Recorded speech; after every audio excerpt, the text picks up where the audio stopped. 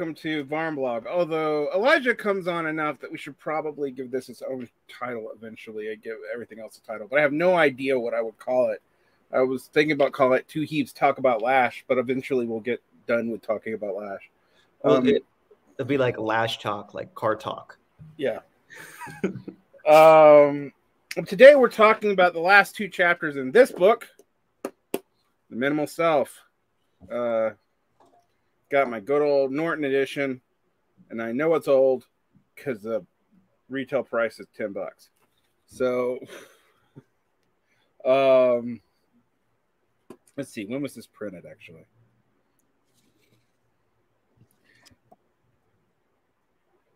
Yeah, this is this is an actual 1984 edition. So, OG here. Um, Now we're talking specifically about, and I'm just going to give people the chapter titles. This is chapter six, the politics of the psyche, and we're going to go into chapter seven, the ideological assault on the ego, um, which is a long chapter actually. Uh, but those are the last two chapters in the book, and while they are kind of different from culture of narcissism and that Lasch learned more about different categorizations of narcissism and kind of neo-Freudian theory from the 50s, 60s. And also takes an explicit position. Yeah. Um, well, let's go into that. What is Lasch's position on narcissism before we get into the politics of the of the self? So Lasch uh, makes clear something that he didn't in the previous book, which is that he thinks that narcissism is useful as a mode of analysis because mm-hmm. it illuminates the question the right questions and he makes clear that he thinks it's an approach which has been taken because the other approaches the politics of the superego and the politics of the ego have so exhausted and disgraced themselves because of the existence of World War II and the remainder of the 20th century. Um, and so his position on narcissism is it asks the right questions and comes up with the wrong answers. So let's let's dig into this a little bit because a lot of people get stuck on narcissism as a psychoanalytic category and they identify that with narcissistic personality disorder and the and the diagnostic and statistical manual which it is not we are not talking about the same thing and that needs to be understood um, in fact, I would actually go so far as to say narcissism and narcissistic personality disorder is not actually contiguous, although is related to analytic, uh, psychoanalytic conceptions of narcissism, and neither one of them are quite exactly Lasch's conception of narcissism, um, which is confusing. But what are you going to do? I mean, one of the things that you have to realize about narcissism, and I think uh, it came up in an interview I did with Daniel Tutt, but it's something that I've thought about for a while. People think that narcissism is being in love with the self. That the the, myth is is that narcissists fell in love with himself, and the way Freud and later Freudians actually take it is not that narcissists fell in love with himself, is narcissists did not know the boundaries of the self and drowned in it yeah. To Lasch the explicit danger is the lack of recognition that right. the the characteristic quality of narcissism is a blurring of the boundaries between the self and the outside world. Right. And um, I think we can go into this in subject object thought going all the way back to Hegel. Like the reason why the blurring of the boundaries is so important is that it it prevents self formation. That self formation actually is predicated on distinguishing yourself from someone else, picking up the ability to communicate that differentiation through the means of someone else, through language, through culture, through through economic activity, and being able to socially reproduce yourself in ways that continue that differentiation with others. Um, which is, you know, Lasch is also one of these figures who really understands that the I, the individualism and collectivism problem is is is is a false binary. Like you don't have one without the other. Um, it is it is against the collective of which an individual is defined. Lasch gets that, um, and I think even in talking about this in like modern psychological terms, that those kinds of frameworks are still more or less true. Mm-hmm. Um, but I do think people get hung up when we get, particularly when we get into these chapters, on the fact we are operating with Freudian categories and not like post 1990s uh, psychotherapy, neurological, or disorder categories. Like that's not really what's going on here. Yeah. Um, yeah. I mean, this this precedes uh, precedes the the common understandings we have. This is from a time I think that this is something that that really gets to me when psychoanalysis as a um as a discipline was a lot more you know confident of itself mm-hmm. and of its interaction with politics than has been true for most of the past 30 to 40 years um you know so he's engaging with these in part because psychoanalysis was you know had these totalizing and and huge ambitions uh, which he goes into in these chapters. Um, and so he thinks it's it's becoming the most relevant category of debate across society. Right. Now, I think that's that's interesting. Um, just to to get into what we're going to talk about versus what we talk about with NPD just before we get into the social stuff here. I don't think you could do what Lasch is doing with like modern categories from the DSM, which is uh, narcissistic personality disorder, with the with the um, three subtypes, which is grandiose, fragile, and and uh, exhibitionistic, um, and that's interesting. Uh, you could do something with like um communal narcissism, I guess, which is something that is not really recognized in the diagnostic and and and uh, statistical manual, and even the way that we think about it from the DSM-4, which is unprincipled, amorous, compensatory, elitist, and normal. Uh, nar- of narcissistic personality disorder again didn't exist yet. The earliest framework that we have uh, is probably Kohut's, which is like what is that? Is that where the type one and type two, or is it Erikson where the type one and type two comes from? Do you know? I don't know. I'm not. I'm not super familiar with it. Yeah, that's a problem. Uh, one of the problems with Lashes is even though he's fairly recent, um, you know, this book was published in my lifetime, barely in my lifetime, but in my lifetime. Yeah, but you read it like all of the people he's talking about are like non-existent at this point, basically. Yeah, I mean, it, it, it is when I was going through this, like to go back, particularly more interestingly, more this book than Culture of, uh, of Narcissism, which I find this interesting. The names in here and the critiques he's talking about have been largely dropped from public discourse. Mm-hmm. We did not pick this up. Though, though I will say, when I was going through, I, th- I thought a lot of the assumptions that he was talking about built into, say, ego psychology or behavioral psychology are still super relevant. Oh um, yeah.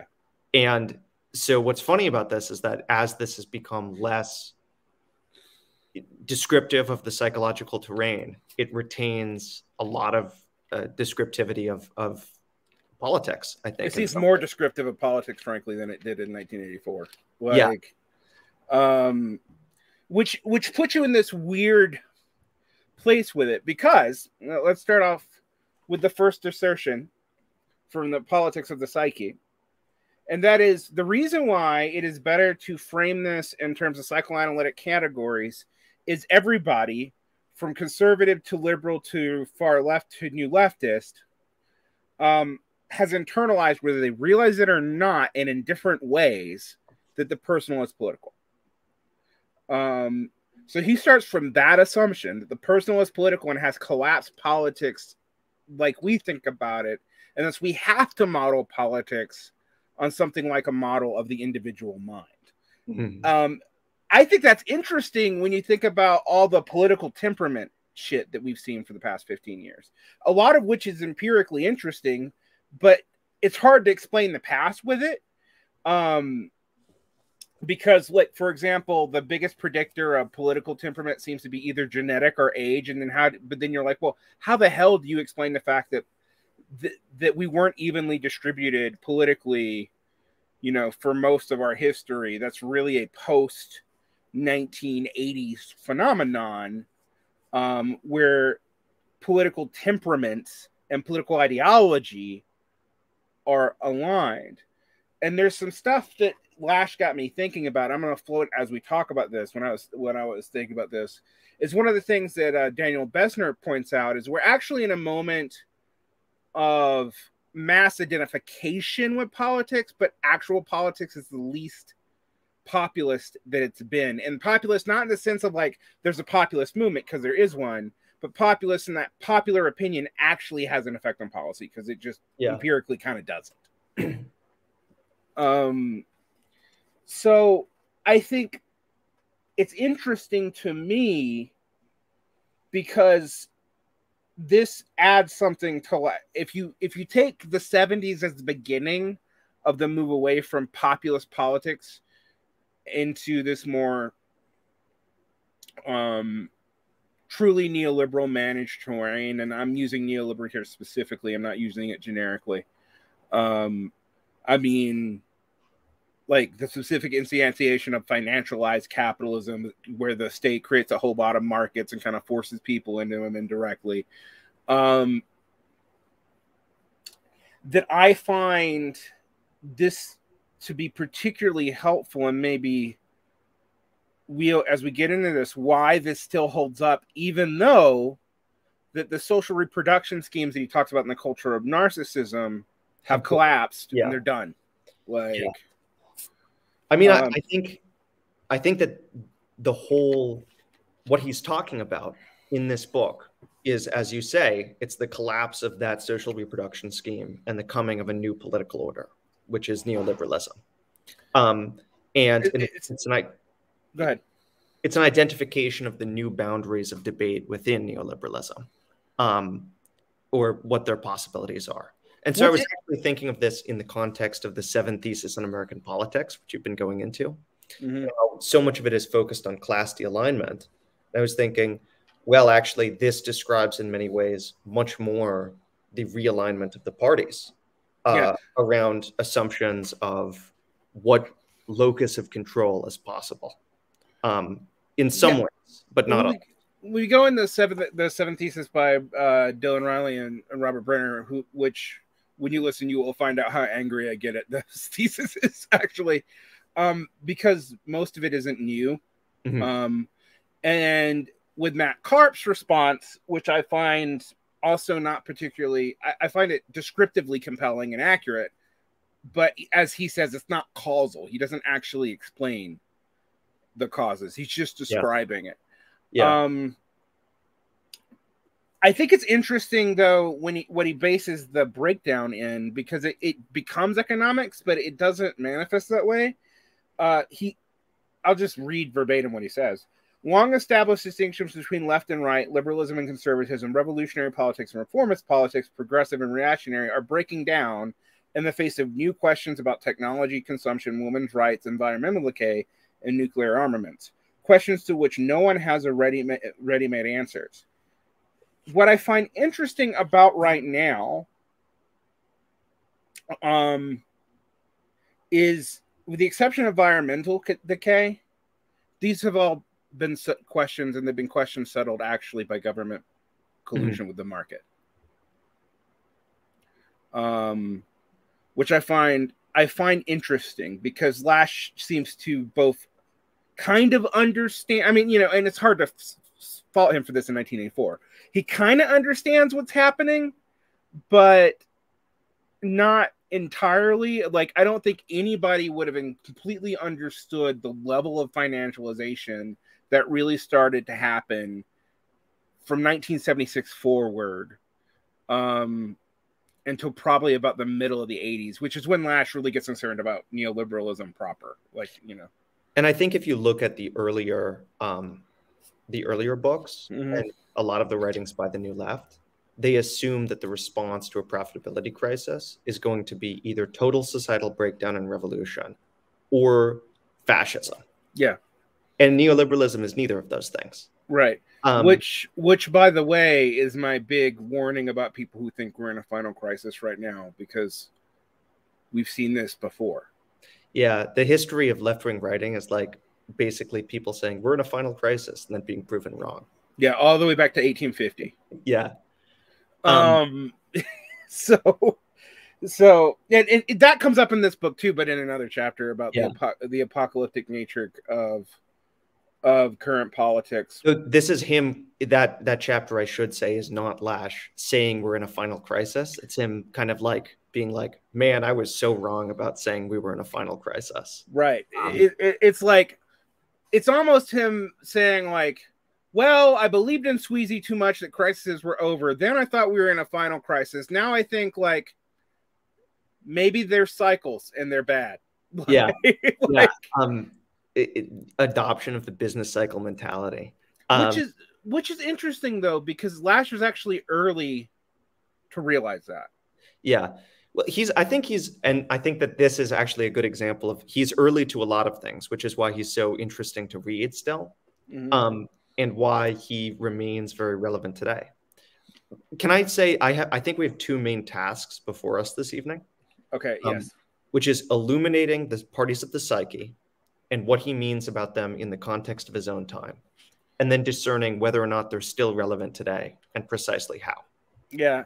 One of the things that I will say when I was reading these um, parties of the psyche is that I now see where Lasch says they still vaguely line up to uh, conservative, liberal, and new left. You know, roughly, he doesn't. He he does say it's not useful to totally think about him that way, um, but that you can kind of see alignments with them. I think now you really can't. Like it's I can't say that the left is the party of the anything or the right I, is the party of the anything. What I kind of noticed is that there's no party of the superego left in American life. Um, and that one thing that has so the party of the superego to premise this yeah, it's the first party, so let's go there. Stand. So, very simply, quote, they regard a restoration of the social superego and of strong parental authority as the best hope of social stability and cultural renewal.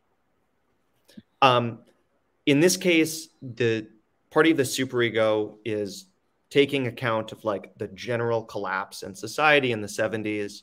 And they're saying that the reason why is that there's a disrespect for institutions, there's a disrespect for parents, uh, basically modernism has like destroyed everything authority has declined and people have to have a renaissance of guilt in the words of philip rieff uh, to stem the rising tide of impulse yeah basically we got to put down this dionysian revolt. No more nietzsche. Bad, absolutely. Bad. Um, um, lasch uh, devotes very little time to this in part because it's very simple to understand. There's a repressive apparatus of laws and moral dogmas which enforce moral conformity, he says.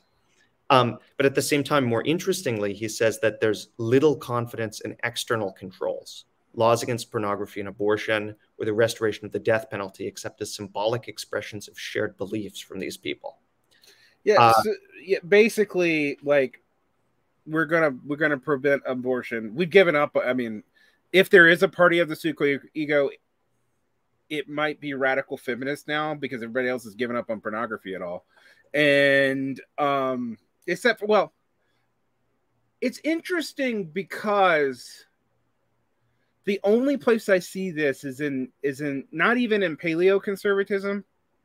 Really, it's really specifically in the subset of like post paleo conservatism. They're using an awful phrase I coined right now, but in like Catholic anti liberal national conservatism. I think there's like, there's some of the post liberals I would describe this way because I've talked to a lot of them. I like hanging out with them. I hope they never gain power. Um, and yeah, I, I like some of them too. I just hope they stay in church. Yeah, like, yeah.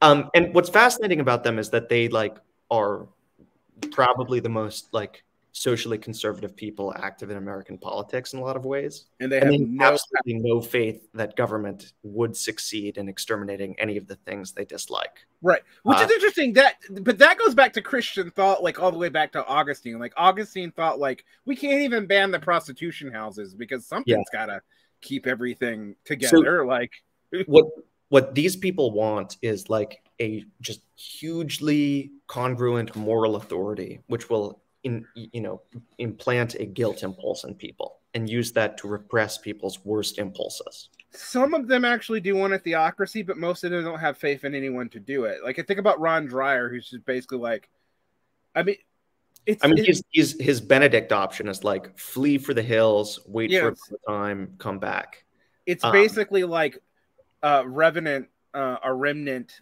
political thought, which was also a big thing in paleoconservatism, but not a, not as much about religion. Um, and and you know, it almost like it's like Canticle for Leibowitz, but like with actual religion this time.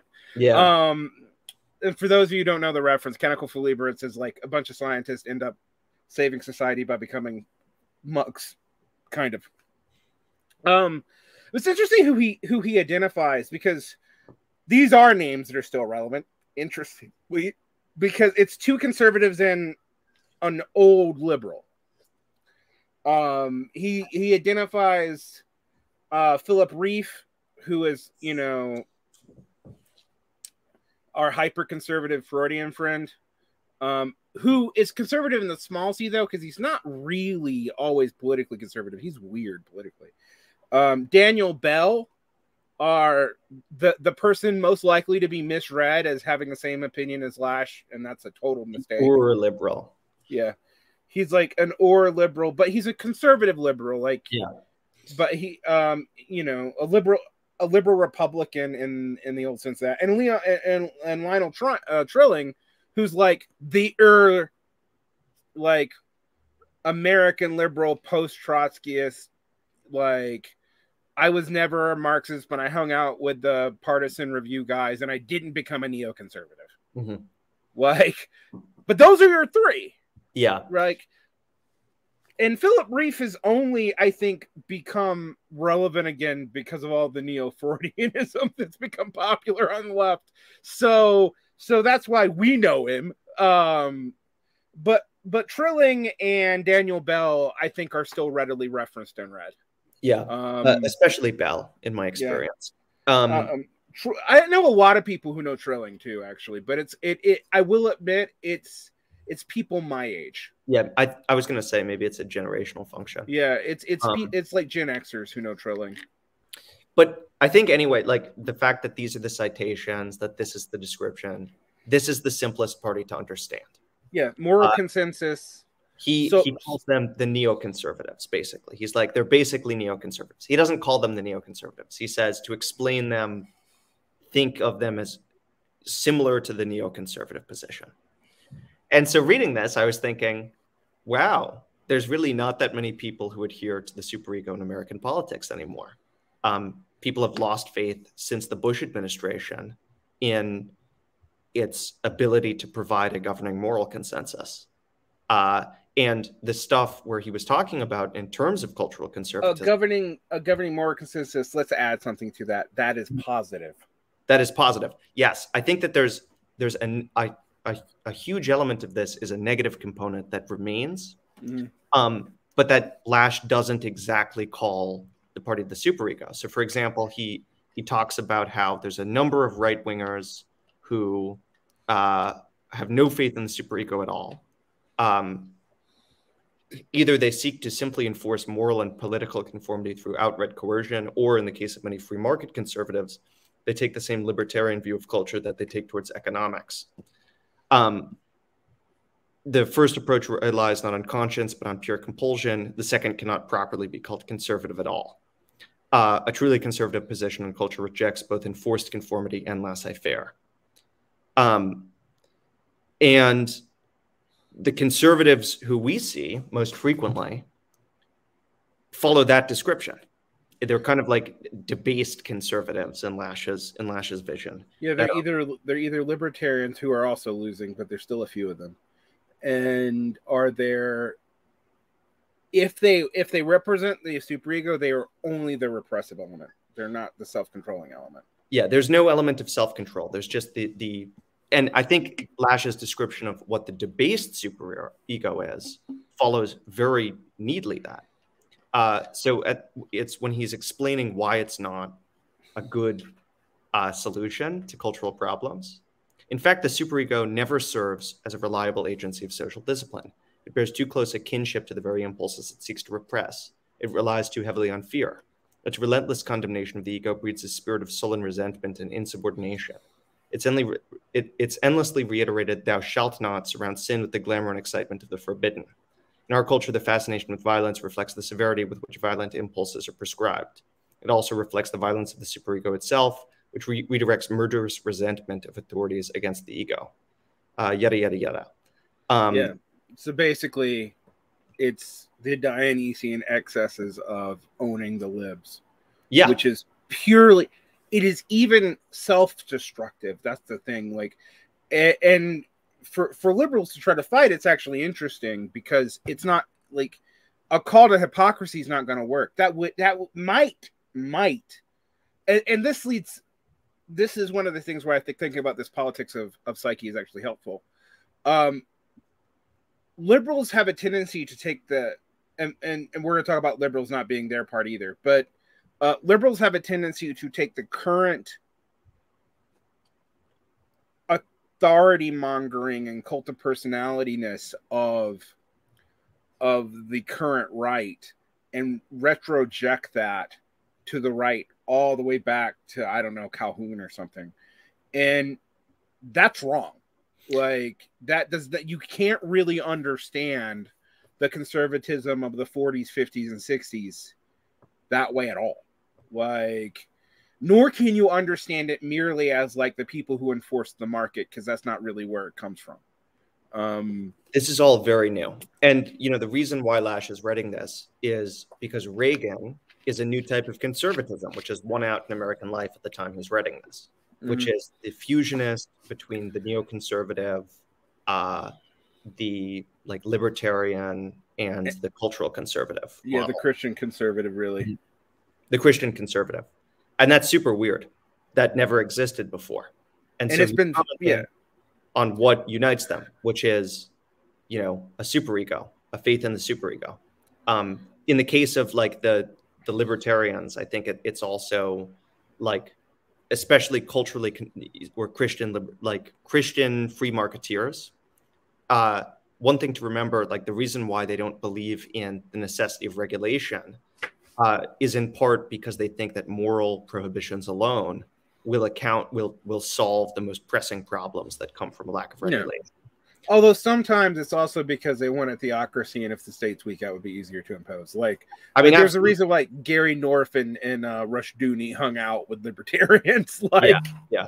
But the, um, the average, like your average normal Christian conservative, who you're like, does not think that. No, they they don't think that. They're like, uh, if people are moral and act more moral, then the world of uh, competitive, you know, business will not extend to desiccating and destroying everything in American life. Um, right. With that, I think we've covered the party of the superego. Should we go on to the the liberal ego or the liberal uh, ego and the therapeutic ethic, which I think this one's interesting. Although I do want to read what he predicts is going to happen from the party of the superego. Go for it. A government that preaches law and order but fails to guarantee public safety, to reduce the crime rate, or to address the underlying causes of crime can no longer expect citizens to internalize the, the respect for law. From top to bottom of our society, those who uphold law morality find themselves unable to maintain order and to hold out the rewards formerly associated with the observance of social rules. Even middle class parents find it increasingly difficult to provide secure environment for their offspring or to pass on social and economic advantages of the middle class status, which is absolutely true. Um, Nepo babies don't come from the middle class anymore because the middle class cannot secure that much en- enough to ensure any division of their wealth amongst their children. And they don't have many children. Like and they don't have much wealth. no. I mean um so furthermore, I, am going to say something about American religion. I, I've been really big on like even if nominal religion is still around, it's utterly secularized because Christians no longer see their morality as separate from their politics, meaning their their their morality, all our religion, does not really have a pull. It is it it doesn't have it's it, it can't the social order that might come from that separately from whatever the fads and gusts of sentiment are in general society. Most religious orders can no longer handle, which is why stuff like Trump doesn't matter like, um, and it's and interestingly, I, I, get annoyed with Jeff Sharlet because he thinks that the fundamentalists are always winning. Um, but one observation that he makes is there was a shift in the kind of religiosity of the of the uh, of Protestants, which was no longer constraining, but actually one of like power indulgence and uh, forgiveness of the powerful, moving the model to like forgiving David and and his battle with Saul um, meaning that like this new secularized religion totally accommodates for someone like Trump, and he can be sincerely religious and not change anything about himself, which which means that religion does not have a moral pool. It is no longer a it is no longer a form. It is no longer one of the components of subject formation. It's now subject to that formation. Um, I, I used to talk about this with Buddhism, which is a religion that I've been involved with, so I know a lot more about. And like, I used to complain about Western Buddhists, but it's I mean I'm going to actually say it's also true in most countries in Asia that Buddhist moral codes have totally like been subsumed to whatever the local dominant politics are, um, and often incorporate like in America, there's like this Protestant individualism that's kind of in it. And if you're in Korea, it's like filial piety. And if you know anything about Buddhism, that make any sense. But Buddhists don't care about filial piety, but they do there. Um, so you see a similar pattern, and I think for similar reasons, um, to go all to be a vulgar Marxist about it is because most of these religions don't answer questions or deal with needs concurrent in most people's material life in the same way anymore. It like it can't hold up against the pressures of atomization of community through literally through property relations and whatnot. Um, and the ones that do, like say Orthodox Jews, various cults, used to be evangelicals, but they've folded. Um, have a, a, an extremely strong component of social organization. Yeah, and um, they're also isolated. They have to isolate themselves. Like, and that's hard. Like even like the Amish are having trouble doing it now. So, um, I think this is actually the perfect pivot because this is what Lasch next touches upon in mm-hmm. his description of the development of the liberal ego, uh, the 19th century origins of the therapeutic ethic. What he talks about is he talks about the pivot from uh, the rebellion against uh, against Calvinism, actually, um, and the pivot to from Jacob Abbott uh, to say that vindictive re- retribution for sin was giving way to remedial punishments administered. So the idea is that punishment for sin is now for your own good. Yeah, it's corrective as opposed to to purgative or How do you punish people? Yeah, uh, you know, and this is the little bit of Lasch where you can you can feel the his his early dalliances with Foucault. Um, I was thinking that this whole time that he really should engage more with Foucault in this, but right. Well, he did early on. I mean, you you you've read early Lasch too. Yeah. Like there's in this specific section, he, he like yeah, he's not. Oh, Brown and Marcuse a lot of his his commentary on Marcuse is like answered in some ways by Foucault. Right. Um, like the surplus repression stuff and the his, the historicization of that, which we'll get to, um, is similar to a lot of elements of Foucault's project. But right. but yeah, uh, sorry. So here, let's deal with the first names that are invoked. Talcott Parsons, which for everyone knows is a kind of conservative. Max Weber. I say everyone. No one knows that if you're a sociologist, and you're familiar with sociology before the 90s, you have to know Talcott Parsons. But what's interesting is like all the younger people, like people who are my age, actually are your age, do not. And Talcott Parsons is referenced in all the people we read, but we don't know who he is. Yeah. If you're um, addicted to Lasch, you have to know Talcott Parsons. Right. Well, you also have to know him for another person I read, which is John Michael Levy, because John Michael Levy uses Talcott Parsons for as the example of everything bad.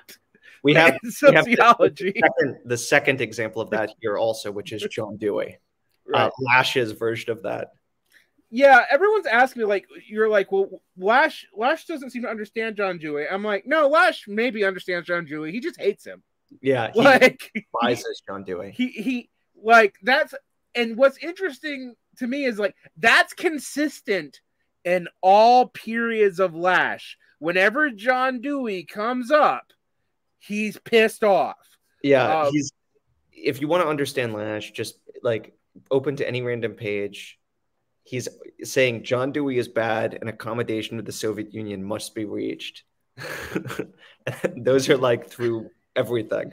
Yeah, like we need to taunt maybe just a little bit of socialism over here and uh, the elimination of John Dewey's influence in American life. Yeah, and we should we should remove all references to John Dewey from history and burn everything. I mean, um, no, he wouldn't want him removed from history, but he would want him anathematized. I mean, like, he it, wants people to learn about him for the purpose of demonstrating that, you know, uh, uh, with an, an, attitude of genuine mourning that we engaged in in his uh, his theories. Um, yeah.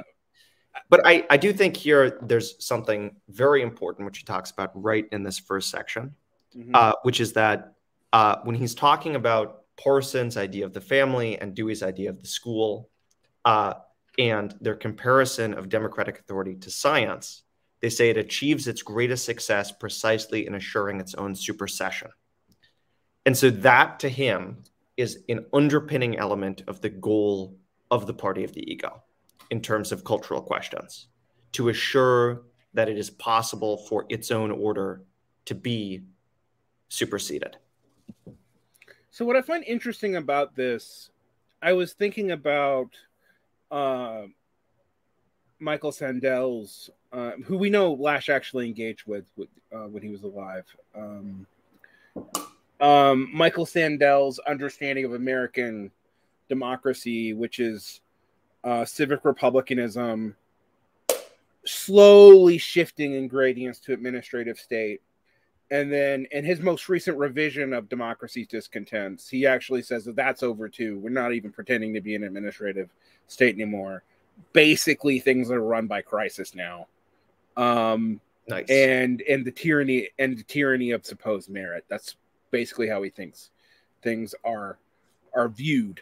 Um, and what I find interesting about here is the li- the liberal ego, and it's interesting that he does say it's liberal after saying that we can't think of this in terms of liberal conservative, but that liberal ego politics is therapeutic and and um, reformative, but uh, it also sees itself as values neutral or are approaching values neutrality. It's it it it compares itself to science, right? Uh, it's it sees itself as I think essentially procedural, uh, which is a really important designation, and I think it's something which has a lot of relevance today, um, in terms of the way in which Democratic politicians, especially, and Democratic elite politics, especially, but Republican elite politics for the most part, with the exception of like Trump himself, uh, how they see oh, themselves. They see them. I think DeSantis is uh, he fits into like some of this.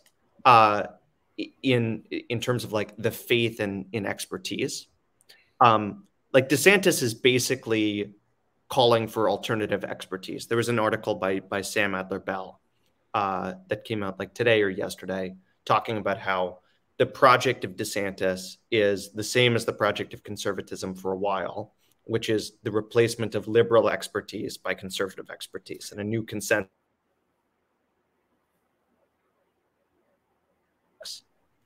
Um, A new consensus. You just faded for a second. Uh, a new consensus for elite politics. Right. Which which leads to it like mirroring its misunderstanding of Gramsci through the long march of institutions, something that Gramsci never actually yeah. said we should do. But but interestingly, I think is actually and weirdly, uh Sohrab Ahmari pointed this out of all people. Um over the Compact magazine that it means that they're actually taking over the cultural institutions that are dying. Like they're like they're like they're going we're going to do a conservative university when universities are yeah. shrinking rapidly. Yeah, I mean, if like if they really want you know to to win, what they they the smart ones understand they have to take over the CIA. Um, but unfortunately, it's not particularly stable to the American government to have conservatives in charge anymore, uh, because like and because I thought they're I, no longer the party of the superego. they're no longer the party of the superego because the, the result of boosted tax cuts and like the elimination of regulations that businesses themselves have asked asked for.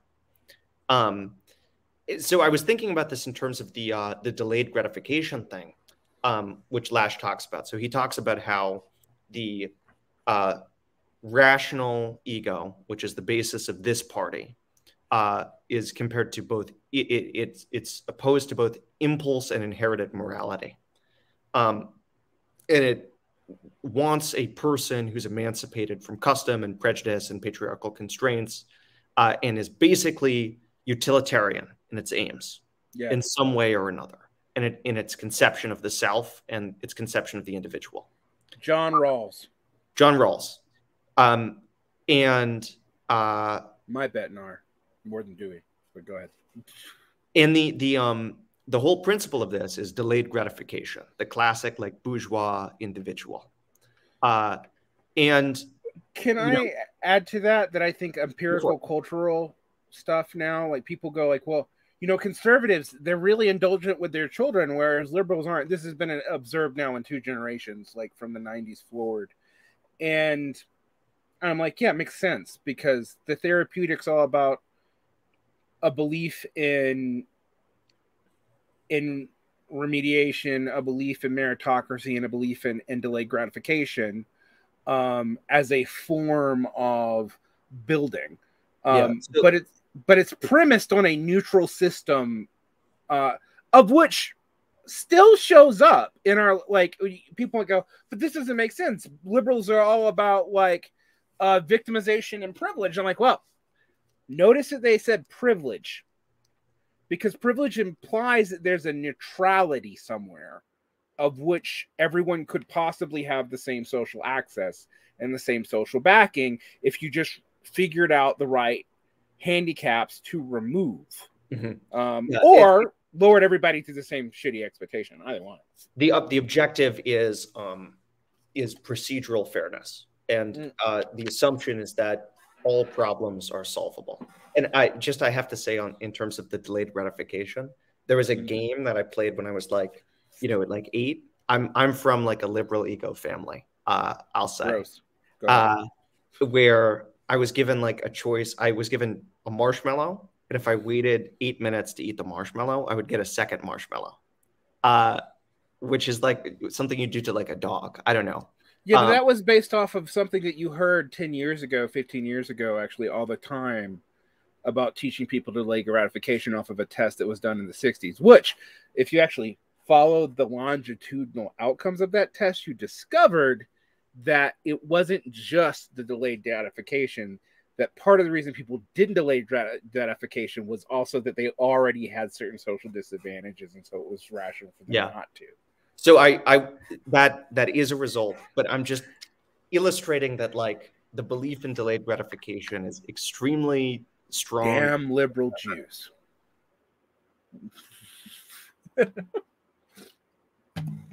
really shining through here, except that it's especially shining through when Lasch says that uh, liberal education drew on the cultural capital of the past more heavily than it realized. You know, that's the uh, that's the the liberal Jewish connection. Yeah. Um, on the cultural capital of the past.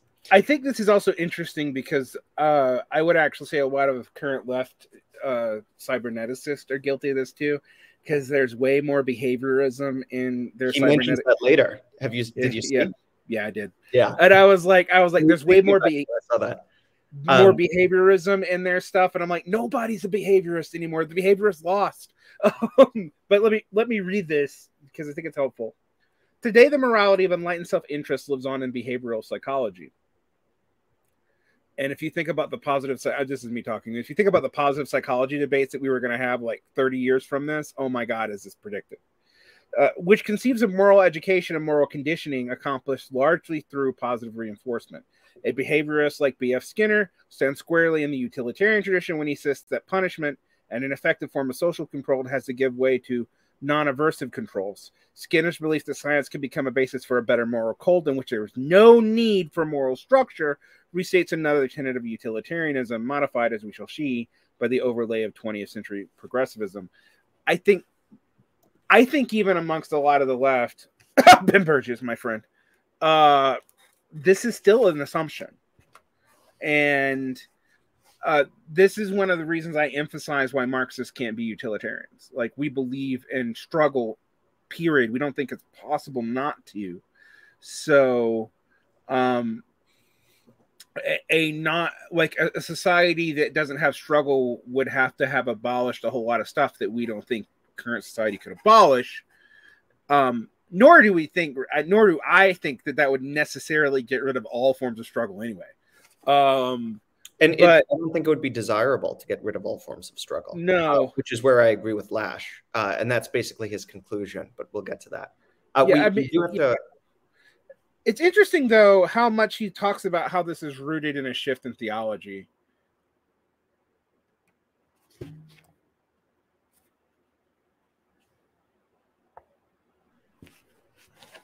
Sorry, I cut out. Yeah, you cut out. I said, interesting though how much this is rooted in a shift in theology. Yeah, um, that's absolutely true. Um, and I mean, it, it does reveal it's uh, you know that it's a shift in the basis of American moral life from basically theological to basically scientific.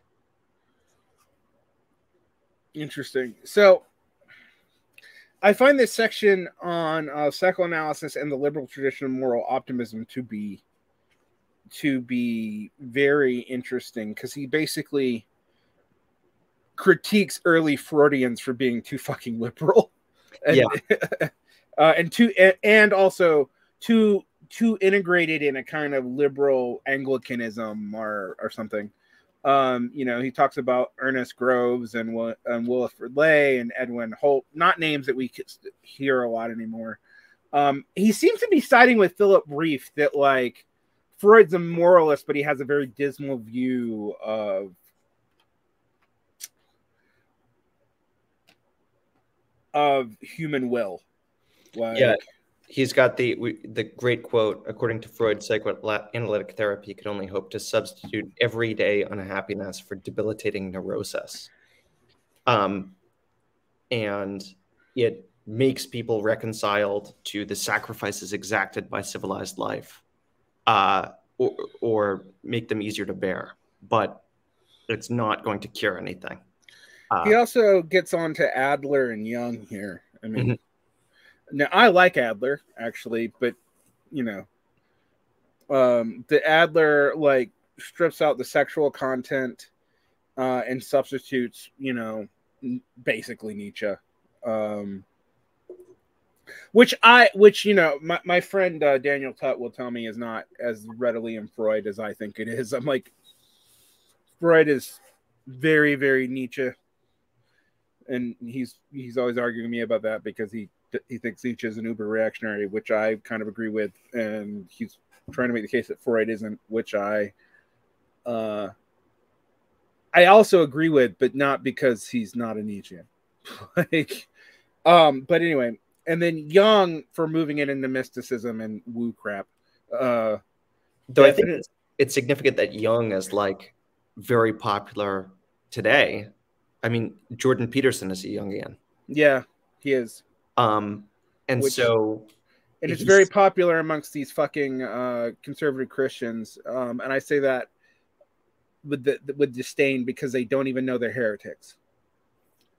Like there is a there, there's a way in which Jordan Peterson and all of his complaint about postmodern neo-Marxism is actually postmodernified uh,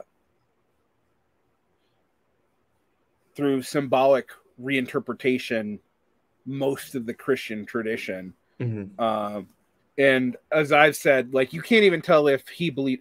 Actually, Peterson has the same problem as Lasch. You don't know if they believe in God, but they seem seem to want to. Like that's funny. I like that.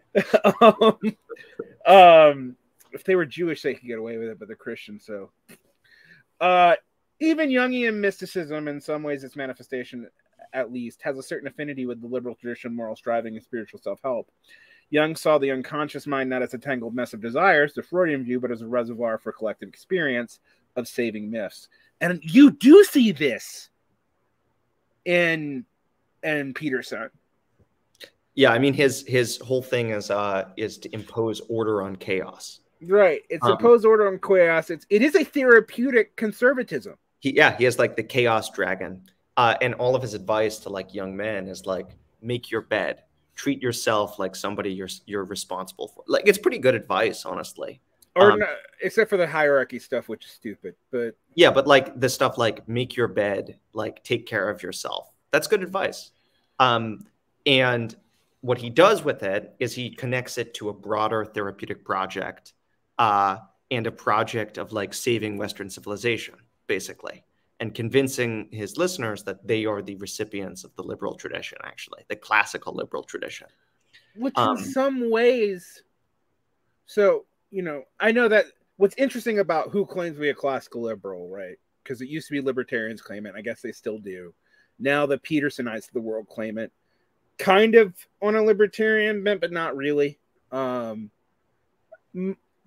my argument has always been, except for the movements that try to transcend liberalism altogether, unless you're a blood and soil nationalist who believes in God and country, you're a liberal. Yeah. Um, um one. yeah, like, like, and I know people hate that, but I'm like, no, like yeah communism is a, it does like the ben Burgis platypus types as much as they hate each other are both kind of right the communism comes out of uh, the liberal tradition what my distinction from them is i think we become something completely different. Yeah. Um uh, because fascism also comes out of the liberal tradition despite what liberals want to say. Um and uh, counter enlightenment is an enlightenment philosophy and postmodernism is a modernist uh, way of life yeah totally Bo- both of which are actually predicated i mean fundamentalism is actually dependent on the scientific revolution like all, all these things are like pseudo outs right um they meet a kind of need and I, i'm going to say a lot of today when everyone's like the reason why I don't call people liberals anymore as an insult. is because I think it's always true. Like, unless you're talking to someone from like India or or maybe China, and even there, I'm going to argue that there's been a synthesis with Chinese and and certainly, uh, certainly in America, basically everyone is liberal. Yeah, um, including the people we call conservatives and the people we call socialists. Right. Um, I, I, and I think one thing Lasch gets onto is Lasch is also speaking here of a particularly American conception of psychoanalysis and of the ego. Yeah. Um, if you see this, it's like we talk about Jung, but it's really the American understanding of Jung. We talk about Carl Rogers. We talk about. Uh, there's a um, quote from Rogers that I want to, uh, or his yeah. follower. Mm-hmm. Rogers' own approach to therapy, as a follower put it, was, quote, as American as apple pie, end quote. Uh, and he's talking about free will, total sensitivity to the client, empathy, unconditional positive regard, uh, congruence, and the importance of being real. Um, and discussing that every organism has an innate drive towards growth, health, and adjustment. And it stressed the possibility of achieving rational control over the self and the environment. So the liberal attitude in all of this is that there's growth, health, and adjustment without any objective standard beyond scientism. Um, and this is just going to continue the whole time we're talking about the, the liberal ego. Yeah. Um, I think that's a fair point. One of the things I, I think we have to deal with here is is there are two forms of the liberal ego that are actually manifested in what we would now both consider out of date psychology, but both of these psychologies actually have antecedents that are still around. Mm-hmm. Um, because humanistic psychology, I think, largely fell out of the favor by the end of the '90s. I do, I did know some people went to college for it, but I don't know anyone anymore. Uh, and behaviorism is also largely fell out of favor. But cognitive behaviorism um, and positive psychology, which is related to cognitive behaviorism and its influence, it is actually still kind of an active debate in uh, American psychotherapeutic life. Um, and it's also interesting that its practitioners admit that one, it's both the psychopharmaceutical and the behavior, the kind of behavioral therapeutic claims are overstatements. Um, now they have to admit that because of replication crisis. But the other issue that's actually kind of interesting is that there's been a shift in cognitive behaviorism from a kind of super ego approach to a much softer approach. If you like read early cognitive behavioral stuff uh, that's coming out in the 80s, um, it's brutal. Actually, it's like you know, uh, it takes a very stoic approach to things. It's like you know, the first thing you have to accept is like that there is no other way, there is no should, there only is what is. Don't start limiting counterfactuals and deal with now. Um, and what I find interesting is that that approach has completely softened. I don't know anyone who practices cognitive behavioral therapy quite like that anymore. Um, and humanistic psychiatry has kind of like just taken on a lot of the cognitive behavioral framework, but it repositioned itself as positive psychology, which has even less empirical background in the like somebody was coming at me about there's very little empirical background for death drive theory. And i'm like yeah but there's like also very little empirical background for cognitive behavioral therapy for psychotherapeutic therapy like like uh are for any of those modalities being uh, being applicable in all cases. Like for example like dialectical behavioral therapy works on like one thing. It works on like borderline disorder which people don't even agree if borderline exists so even though it's in the DSM, it's a whole another thing. I bring that up though because I do think this actually is a split in liberalism. Like I think we I, see I agree. This, you know, um, in the two kinds of ways liberals approach politics. So there's the game versus the growth therapy is there. Right. Um, and then there's ego psychology, which is like sort of within it, or is it separate? Uh, sorry, I'm going through my my notes on this. Um, so basically, just as an overview, let's say what the difference is between behaviorism and humanistic psychiatry. Um, so there's there's game therapies, which is behaviorism, and growth therapies, which is humanistic psychiatry. Is that correct, Varn? Yeah. Yeah. Okay. So um, the game ther- therapies uh, are like Adler, and the growth therapies are like Jung, Lasch says. Um, the goal of game therapies is uh, is purely social, I think. Um, this part's a little dense. Um, and then the second one is to is individual in the case of like having you grow, basically. Um, and I think the the the split that this shows within liberalism is a split between how to situate the individual. Do you sit, situate the individual within systems, or do you have a conception of the individual separate from that? Would you say that that's an accurate uh, distinction? Yeah. So whether or not the individual is autonomous or systemic is actually the distinction here. Mm-hmm. That's really the only distinction because there's still an assumption of neutrality. So, for example, I, I always point out in the privilege versus power discussion, like I like when we talk about uh, relationships between races and whatnot, I, I don't talk about it in terms of privilege. I talk about it in terms of power relationships, and and that's because even though you're framing it in in the systemic form, the privileged form assumes that somewhere, rationally in the kernel, there somewhere is a possibility in the current of a neutral relation, which I think that language is, I think it utterly betrays. Like when I talk about power, like, no, you, you both can't have power. Like, like it, yes, there's a, there are societies in which we could all have power, but it's not this one. Like, so I think that's an interesting and important distinction, even when leftists and liberals sound like they're talking about the same thing.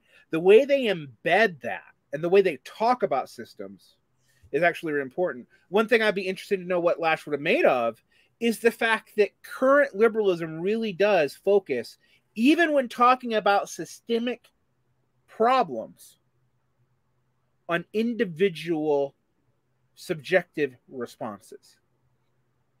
Like we could talk about how much CRT focuses on um, you know, intersectional analysis, but then when you see it actually applied, it's about like privileged recognition, making individual choices that are racist or anti-racist, and setting up policies. You know, and it's, everything's it's, also it's, in that. Uh, it's cutting down the middle of this. It's trying to situate, focus on the situation of the individual within a system, right, and blame the individual for that. Uh, but don't they don't blame because, of course, you know it's it's not a moral category. It's it's objective, right? Uh, except that yeah, I mean, calling that objective is a category error. But well, that's, that's what I was joking about. like, but yeah, I mean, I, I get, I get what this means. It's very hard to get people to like understand this. Where I'm like, oh yeah, there are objective things we can describe about power relations that are coded in race, and we can go to sociological aggregates meaningfully, etc. Um,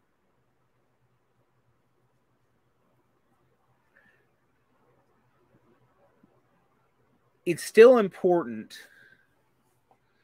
um, to to understand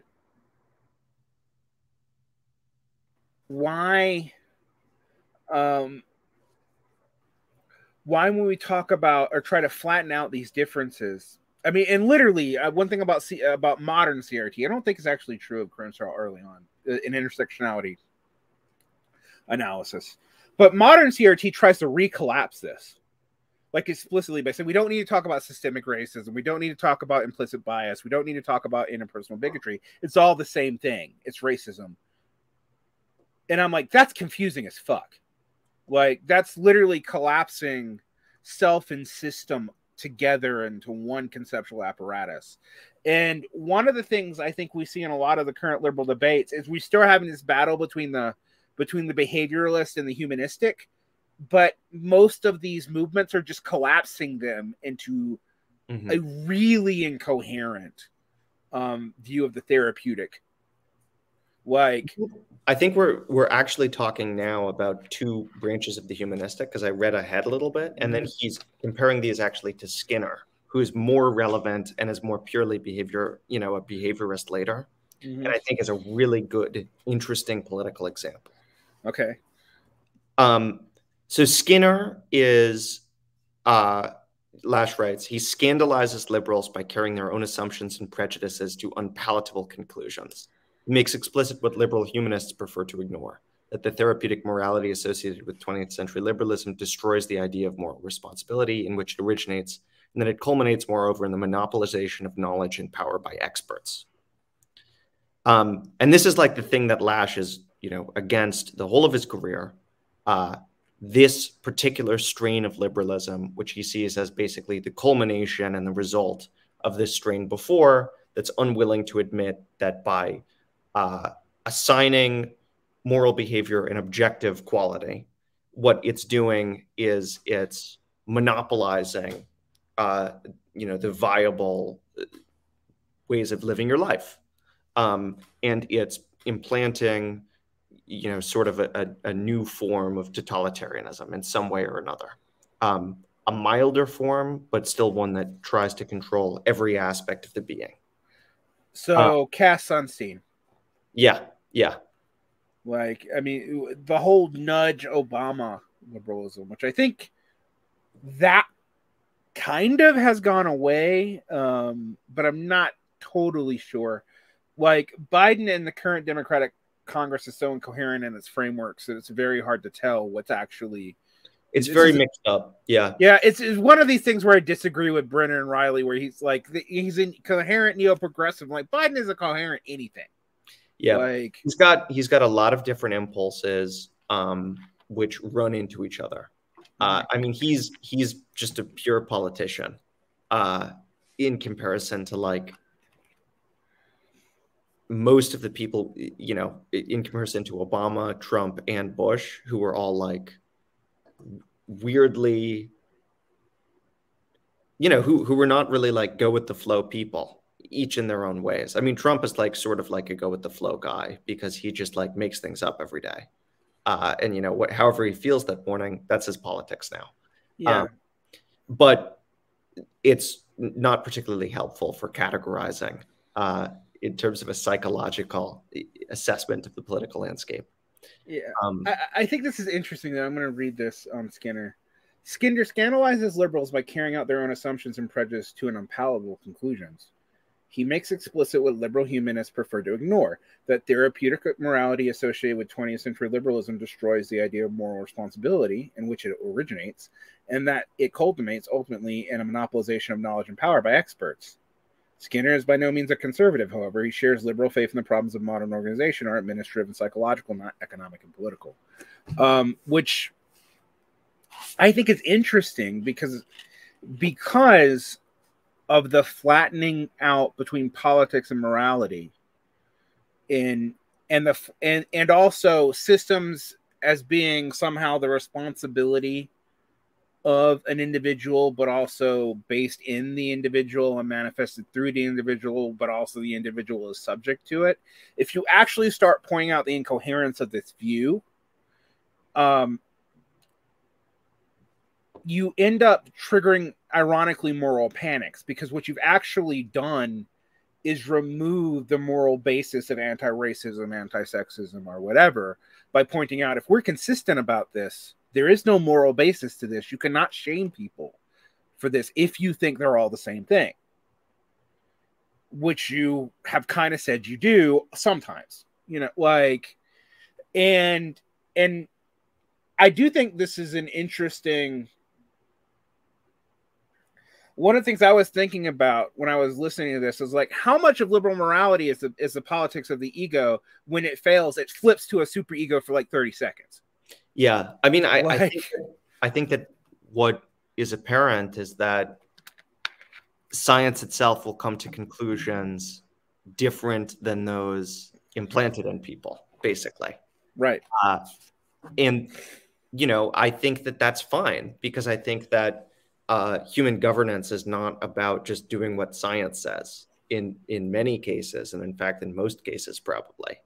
Uh, but if you're basing your entire political view on being objectively correct, then that's a big problem for you. And it leads to either attempts to change science or to uh, ignore it temporarily and, and you know upend what you think of as your governing consensus or upend democracy, uh, which will result in decisions that are antithetical to, you know, the established scientific result quite frequently. So what's interesting is that leads us to our next transition, uh, and this transition he associates with the new left, and I'm going to say, I think he's kind of correct on that, but at this point, there are now. This is universal. Just, yeah, it's not just leftists and even liberals, it's like you're going to find and not just even conservatives. You're going to find micro niche kinds of conservatives that now have this politics. Um, so basically, he talks. Basically, one of the things he's positing is like, you know, for both their inherent flaws, that there's a there's kind of a coherent or an attempt at a coherent but self-undermining sense of self. Now, you know, in him, the party of the super ego is going to become more and more repressive. It can't posit positive virtues. It's going to be more and more given to what we now call the negative partisanship. It's going to be a debased super ego of a hyper repressive order. You know, it's going to tendency towards what in Freudianism would be classically called neurosis. Um, the part of the ego is in the effort to make moral consensus based around science, going to eliminate the idea of moral consensus at all and become purely scientific serving uh, and make all of these systems that people can't actually navigate on the basis of incentive. Right. And, and, and weirdly, it's going to make a less equal society that it's going to make a society where the ego is less helpful. Right. Well, but also interestingly, a society where um despite I think you can see in this where Michael Sandel is going with the tyranny of merit. I mean, the thing with Sandel, Sandel actually still believes that maybe you know meritocracy is possible and good, and Lasch would probably laugh at that. But you know, I think Sandel thinks that if you had meritocracy that didn't assume a neutral administrative state, that maybe it could. But then I, I point out now, I'm like, well, yeah, but now liberals don't justify themselves in neutral competence anymore. Not really. They justify themselves in moral competence.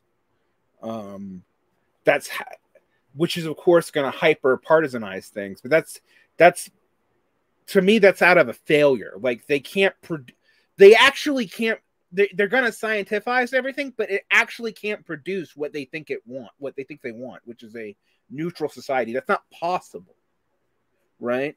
Um, you can't like you can't actually fix all questions uh objectively. Weird. I mean, like, you know, and I think you know the ultimate personification of this to me that this tendency though is fucking Sam Harris like, and again, the line between Sam Harris and Jordan Peterson is a thin line, but it, COVID made it clear where it was. Right. And you can kind of see this. Like you see this uh like therapeutic trying to trying to build a myth that turns into a super ego, kind of, but not but it, it's immediately debased. Like because it can't posit positive values. All it can do is run off fear. And even in Peterson, like it's the fear of chaos. Like it, Peterson can't really posit a vision of the good life on its own. It's got to be the vision of a good life. And maybe all moral claims are against this, but it seems particular now that like we we're not even arguing that this is good enough to be a good life. It's like, no, this is a noble battle against utter corruption. And maybe that's a trans historical tendency. I don't know. Um, but let's talk about cha- the last category gets its own chapter. So yeah. uh, the ideological assault on the ego, um, which he said, which he sees as actually occurring out of a material source which I think people need to like remember. He's still kind of a materialist, and that material source is a mixture of the wealth after World War II, but the political exhaustion of the ideologies before World War II, and the state just kind of existing, like and getting bigger and bigger, but with no real ideological drive. Um, and so, where does the ideology come from now? You know, am I am I like summarizing that base impulse. Yeah, I mean he's he's saying that uh and I thought this was kind of stupid because he like was like World War II really like shocked people. They were like, "How could modernity do this?" And I was like, "What about World War One?" I? I mean, you know, there's a lot of different things, but the difference is that I think you hit the nail on the head. Following World War II, there's an exhaustion with ideology itself. there's a feeling that politics has to turn towards questions of administration and management. Uh, and World War One really brings about ideology the way we think about it. Yeah, yeah. So that's that's the that's the reason. So I said that, and then I like had a comment like much later. I was like, okay, I'll give him some credit for this one. Um, the but anyway, you know, the following the, the war, there's a retreat from world conscious people into family life, um, the silent gen lifestyle. Right. I mean, it's literally and what they literally designed society to like if you want to talk about this in, in a social reproduction sense they actively design society to accommodate that retreat into They're the like family. we are going to do atomization folks. Um and yeah, we're literally. world unfortunately. Uh and i think that actually what was great about this which you were you were pointing to is that by writing that the new vision of you know the party of narcissus originates in this experience, the experience of being either parents in the situation or children in the situation. Uh, it says that the the attempt to combine the personal with the political is actually incredibly tied up to childhood, basically. Um, which is why it's so fitting that so much of the discussion later is about attempts to you know, basically in the vision of the party of Narcissus, make much of adult life more like childhood in some ways, at, which, you know, at a basic level. Which, by the way, I think it's not only true, and I think there's scientific evidence for this. Like the extension of adolescence all the way up into your third, and I'm going to say this as a person who literally has role playing posters in my background. Um, but the extension of adolescence all the way up until your middle 20s I mean, I was looking at millennial statistics, and there's a huge difference. And I'm in, I'm in that transitional period, but I did work in high school. The people just slightly younger than me, that was rare, and today that's that's becoming more common. But for about ten years, it was unheard of. Yeah. Um. And there is an extension of credentialization, and I'm not saying this as a conspiracy. I think this is a systemic thing. I don't think anyone planned this. Uh, but credentialization was a way to control the labor market.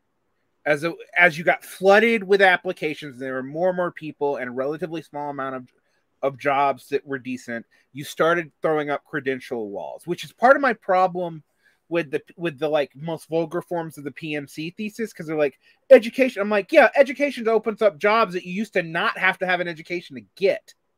Like, um, you could become an actuary with a high school education 60 years ago. You you need a graduate school degree for that now. Yeah. Like and that may be reversing and we're seeing signs that between not wanting uh immigration yeah. and permitting child labor now. Yeah, I mean you know that and it's not going to work either. I mean there's not uh, but but there's a reason why it's happening where it's happening too. But I I think what I think here is like Lasch actually kind of gets some of that about why, like in Lasch, sometimes he's saying. I mean, he's saying that following World War II, there was a political response that changed the the, the economic and social environment and implanted in people a new sense of what politics should do. Right. That's pretty. That's pretty materialist um, to me and it also like if you extend it further explains a lot of the underlying elements of this so he's writing all of this in response to like the 1980s and the 1970s and the collapse of like the new deal consensus yeah i'm Why gonna read i'm gonna do something that we probably shouldn't do in podcast where we're interviewing i'm just gonna read a big chunk of this go for it i think it's helpful from the point from this point of view the radicalism of the 60s represented not so much a return to political commitments after a period of political retreat as a metamorphosis of personal life into politics. Make love, not war, the characteristic feature of the new left derived from the attempt to combine the personal with the political. F. Uh, S. Firestone. Firestone. I can't say her first name either.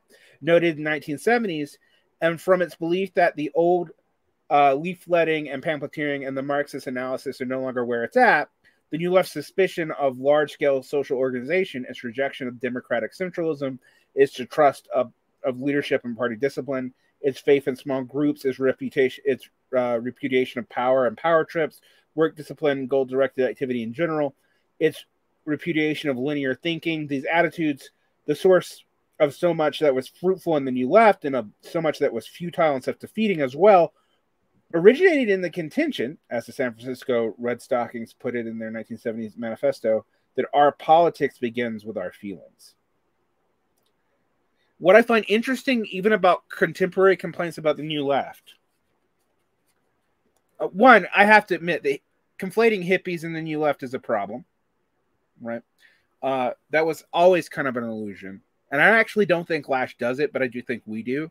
But in doing and realizing that's a problem, a lot of us overcorrect and start pretending like all the new leftists were somehow like like that Maoist that you read about in uh, uh, Joan Didion, like, which is just not true. Like, they're basically Democrats. They're the people who are in charge now.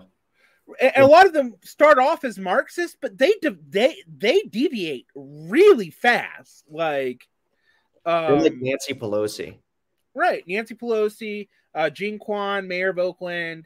Uh, Jean Quan, Mayor of Oakland, was like part of a very radical Maoist group. I mean, uh, Bill Ayers, like Bill Ayers being kind of a a figure for Obama to me is not an accident.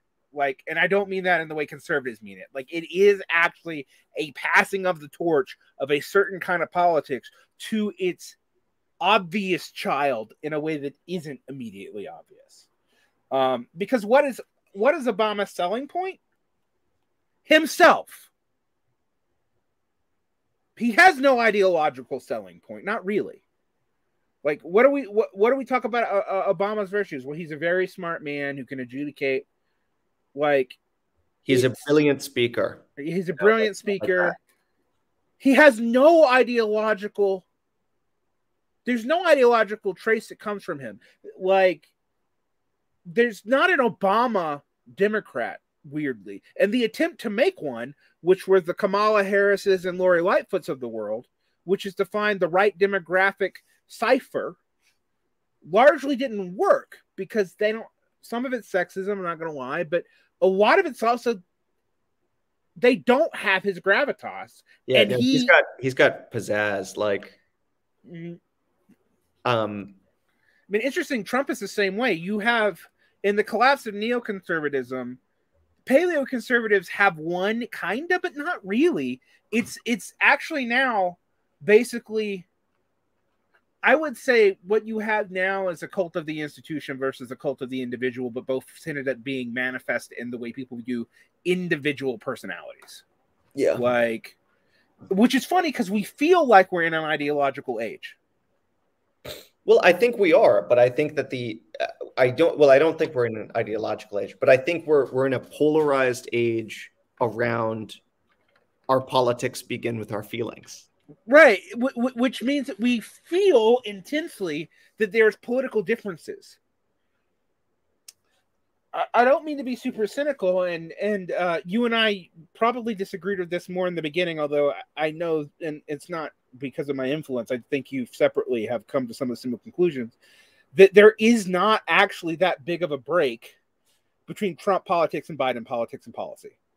No, I, I don't think that I, I think that they're they're substantively very similar, but in appearance very different. Right. Um, so I think there is a huge break in terms of cultural politics, mm-hmm. uh, and I want to be I want to be very clear about that. But in terms of the overall like structure of political economy that they're advocating, it's basically the same thing. But it's interesting that the cultural politics is different as they are, and I agree with you. They're they're they're they're worlds apart they don't really affect policy that much except in the rear guard which is the courts. Yeah and it's you know some administration rulings um but the courts of course are like super as we've we've seen recently incredibly significant. Um oh yeah. I well, particularly when when no one wants to force a constitutional uh crisis that's going to happen anyway like let, yeah they've made their ruling. Let them enforce it there's yeah. a section that I'm looking for, uh, which talks about how like questions of economic distribution have like eliminated. I think that's in the liberal uh, section. where it's like the questions are no longer about political or economic power; they're about management and therapy, or something like that. Right, which I think he's, which I think, what I think is interesting about the current moment is for a second, it looked like the, the left wing of the Democratic Party and people outside of the Democratic who got brought back in, um, looked like they were going to refocus that.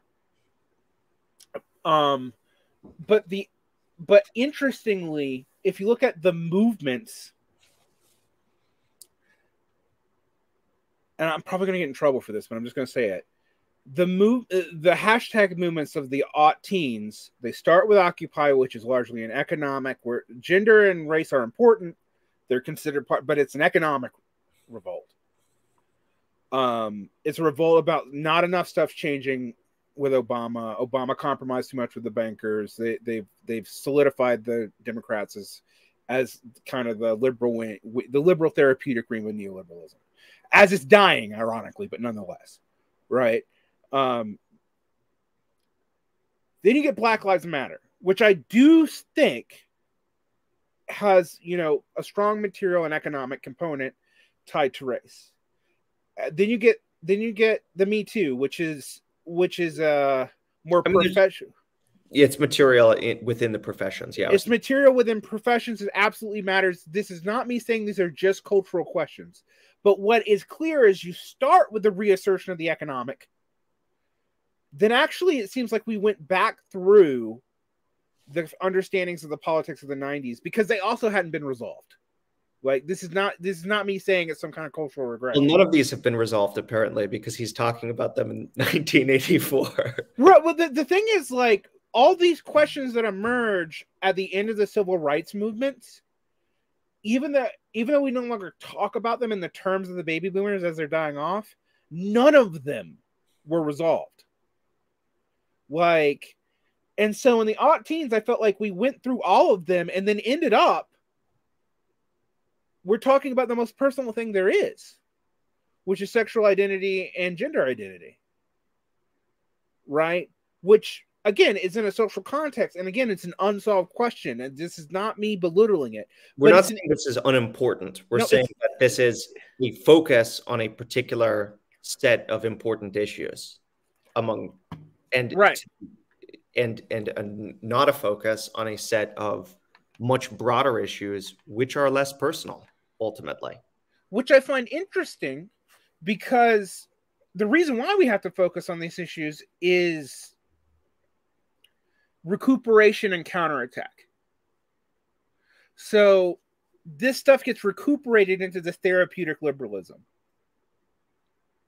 But then whatever the fuck we're gonna talk, we have to talk about the right because like I don't think Lasch foresees exactly what kind of right was gonna come.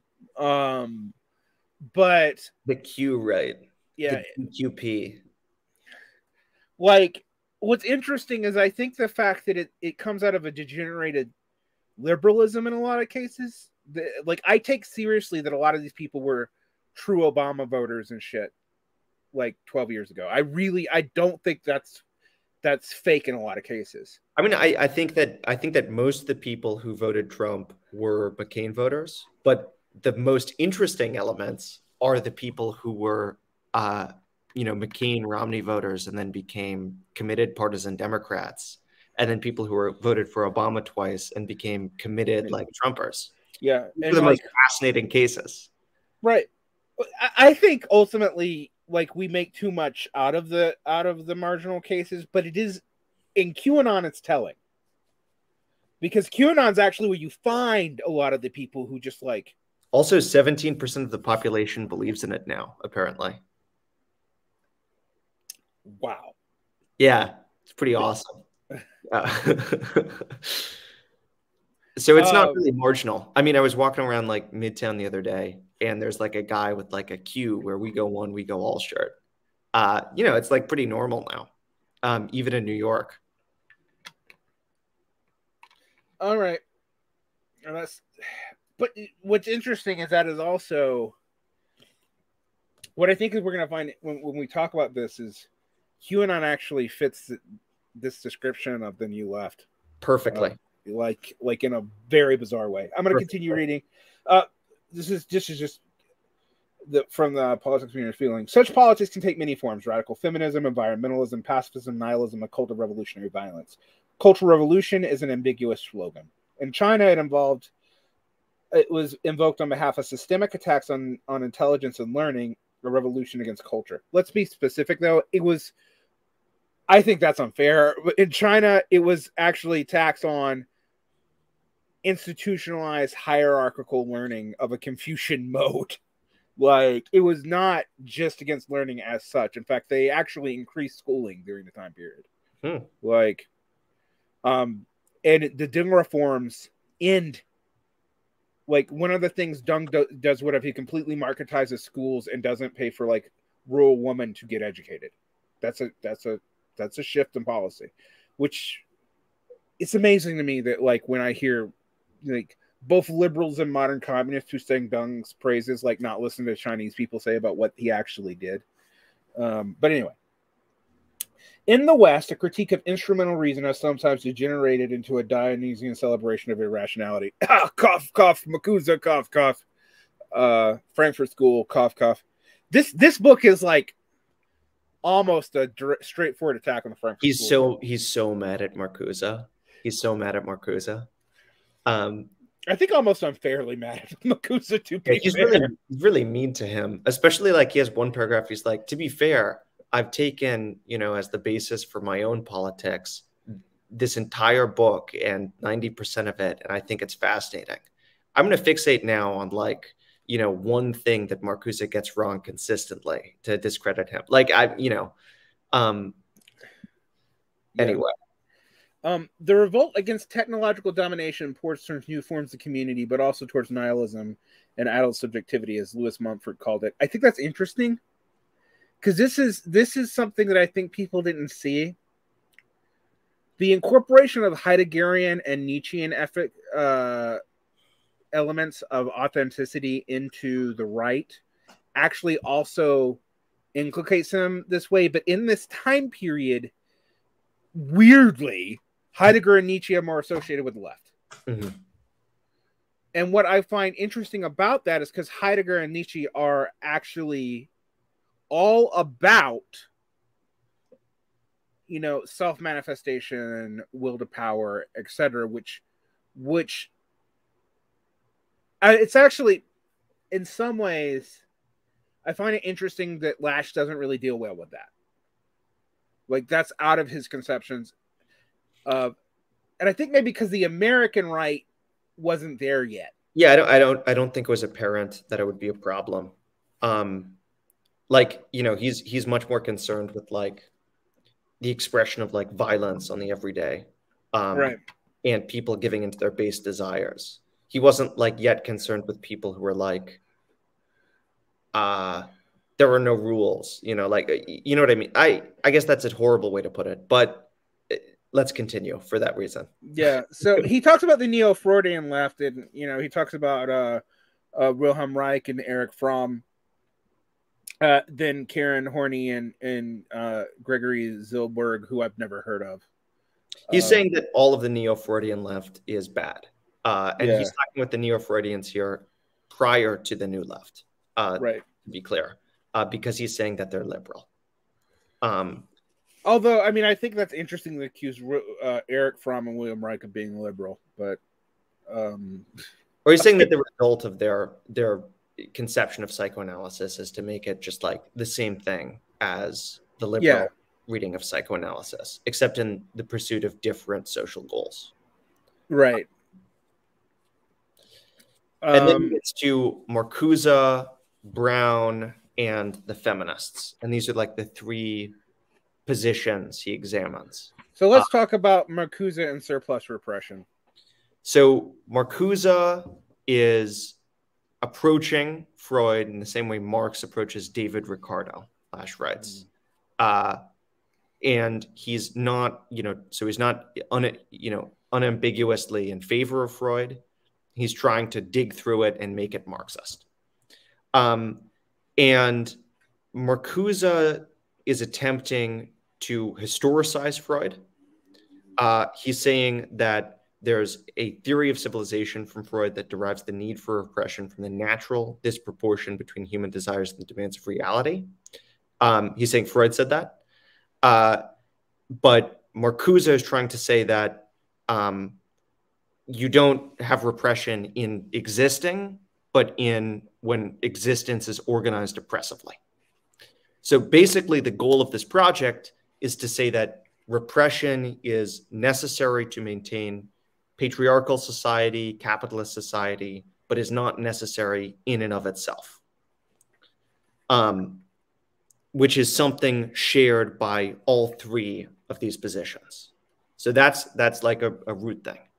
Marcuse, uh, Lasch says is is not really good at this or fails to uh, meet the demands of you know what he's selected to embark on because he falls back on the theory of the primal horde.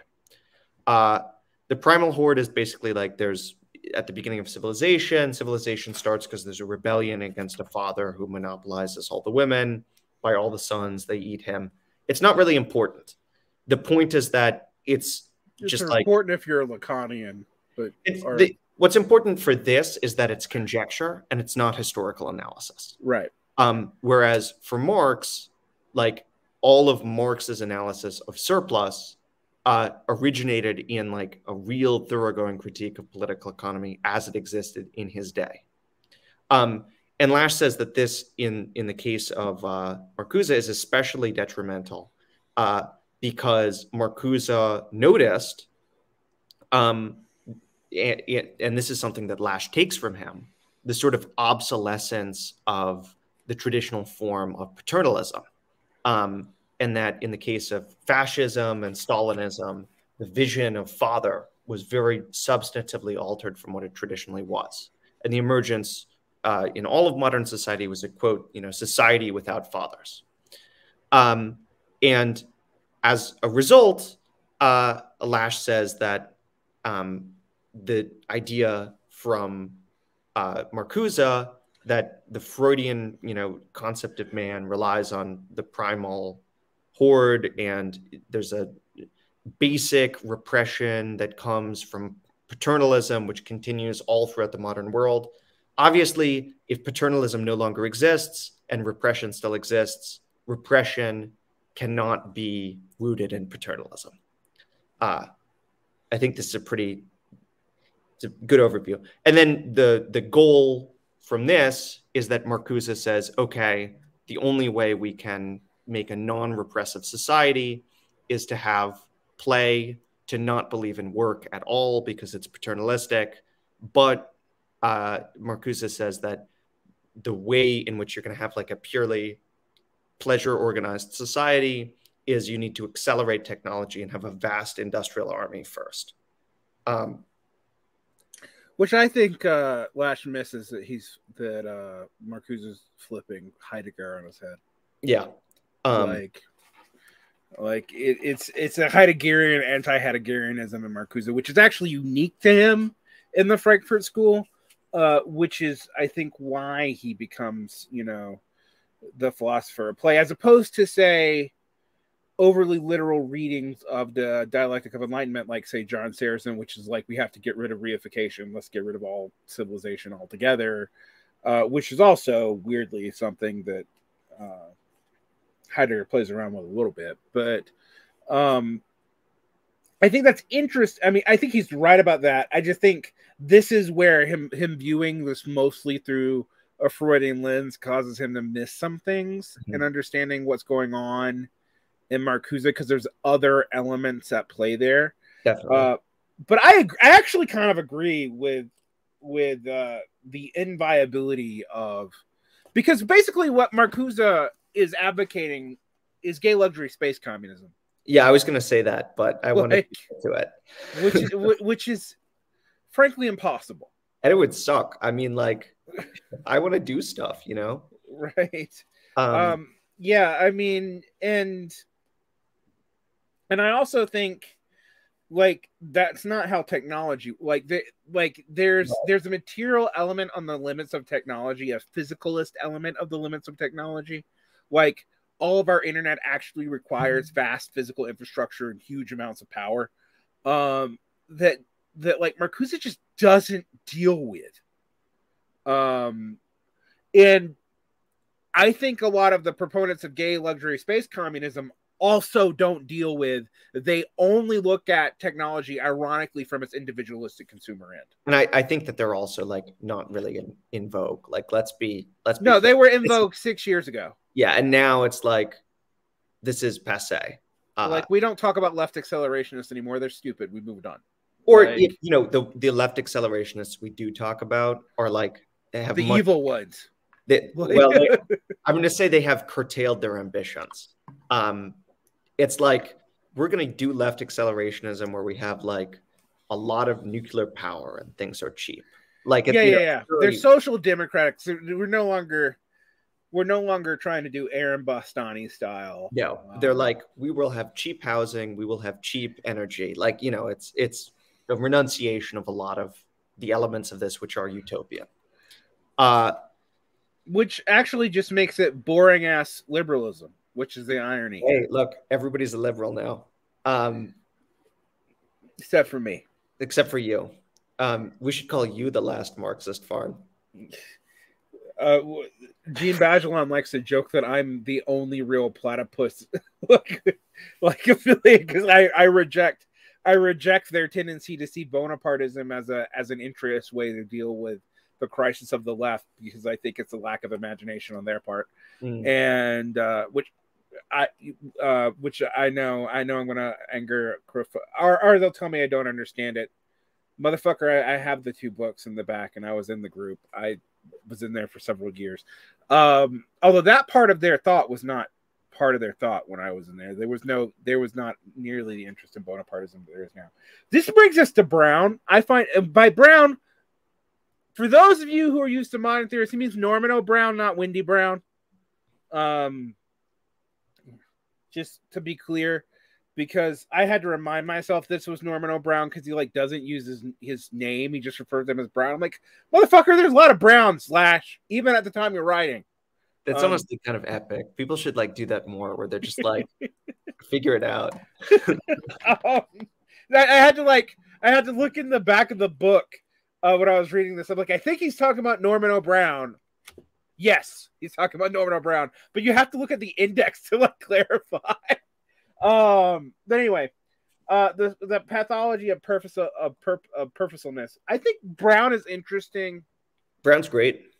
Um, and and I think what's interesting about this is even though uh, Lasch likes like say ninety percent of Marcuse, but, but hates the ten percent so much that's the only thing he focuses on. Um, you get the feeling that he has slightly more respect for Brown. Also, ninety-eight percent with Brown. Yeah, uh, and then he's like, but he he doesn't get the the conclusion. So Brown is uh, like Marcuse, he's condemning purposeful activity as a substitute for deeper gratifications, and he's more mm-hmm. consistent. Lash, Lasch says because he's not advocating for luxury, you know, gay, fully automated space communism. Right. Um, so Brown roots uh, conflict and repression in separation anxiety, not the Oedipal complex, and mm-hmm. ultimately in the fear of death. Uh, for Marcuse, there's uh, you know, repressive modification because there's not enough like resources um, for painless gratification. For Brown, the reason why there's repression and lack of resources is not the social organization of production, but that there's urgent instinctual demands, which like obviously cannot ever always be met precisely at the moment. Uh, so Brown is saying that re- repression of instinctual desires is way more necessary and common than Marcuse says. Mm-hmm. Um, and in the case it's of Brown, not just a dialectic of enlightenment; it's actually like fundamental to humans. it's actually fundamental to human nature in separation anxiety, um, which contaminates the quote narcissistic project of loving union with the world with the unreal project of becoming oneself, oneself, one's whole world. Um, it, you know, so basically for Brown, it's all separation anxiety, which is the same thing for Lasch. Uh, and in in Brown's case, the fantasy is absolute self-sufficiency, i.e., narcissism, which is what Lasch also reads the fantasy as. Um, and Lasch is like, in response to this, Brown's reading of Freud is superior to Marcuse's in several respects. So it ends that sexual pleasure is the only object of repression. Uh, it suggests that neuroses uh, is deeper than just like a conflict between pleasure and the patriarchal work ethic. Uh, and it says that those ideas are very dependent on ideas of historical progress.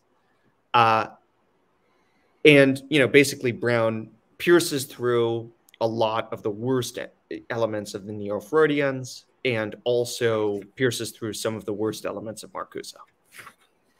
But, but then introduces his own bad element. His own bad element. And in this case, the bad element is the fact that Marcuse needs to arrive at a particular set of conclusions. You mean Brown? Oh, sorry. Thank you, Brown. Uh, so the conclusions are that psychoanalysis will result in something good uh, and will you know be used to transform itself into social criticism and change human culture. And when he says change human culture because you might think well isn't this Lasch's project? Do social criticism and change human culture? Uh, you know he means solve human culture solve conflict in brown's eyes mm-hmm. um, or solve fundamental conflicts uh, that freud says are impossible to solve through psychoanalysis. Uh, the way brown recovers this optimism as Lasch calls it is the hypothesis of a death instinct, where he redefines existence, which he said requires repression, to to you know have its opposite as death, a state of absolute rest. Um, and he says that it's viable to have a situation in which you have activity which is also at rest. And for him, that's play. Um, he has a very odd definition of play, though, that he says play is pure desire, unrepressed, and unsublimated. Uh, and ignores, in Lasch's words, that it originates in the search for a mother substitute, tries to recapture the lost nirvana of infancy, and reconciles us to its loss by enabling us to assert our growing mastery over our surroundings. So in this case, Brown needs to arrive at a conclusion that mastery over the surroundings is bad and uh, that you know repression is also bad, uh, and that you can have a situation where you're perfectly unrepressed right. through play. So one of the things I find fascinating as a person who's come up now, where all this French psychoanalysis has replaced this, but it's actually done the same shit. Like Irigaray actually recapitulates in a much more obscure fashion some of the arguments of Firestone and and Horney whose name is unfortunate. That's Karen Horney. Um, but uh, it's interesting because Lasch ignores Marxist feminism. The, the, I will say one of the things I get frustrated in this part of the book is Lasch is being selective. Yeah. Like, um, and I think he's accurate to the dominant theories of the day as opposed to what we normally see. One of the things that we've done now is the Frenchification of of everything. Yeah, uh, you know, w- but we we tend to see the new left in terms of its French manifestation in May '68, and that's not our new left. Like that's not our new left. Like, and I think. I partially think it's because the current left actually, in some deep way, actually is embarrassed when this stuff is comprehensible and thus they prefer the French version because the French version is less comprehensible, partly because of our weird translations of French terms, which themselves are necessitated. I actually pointed, someone pointed this out to me, and it, like all of a sudden a whole lot of clicked. I'm like, oh, some of this academic terrorism is because you have to make up new words in French. Yeah, I mean, it's like I think also like I've I've not read uh what's that like Guy Debord Debord book the spectacle thingy. The Society of spectacle and uh and then the remarks in society of spectacle I watched the movie and I'm sorry, it was terrible. Like, I just have to say it. Like, I'm so thankful that our new left, even though people are now embarrassed about it, was at least comprehensible. Uh sorry, I'm not gonna I'm not gonna get into dissing Guy Debord. i Um, am i i go uh i i've actually said the spectacle is one of the most poorly and under theorized things that's ever been thrown around Yeah, and And- Lasch uses it in Culture of Narcissism a little bit.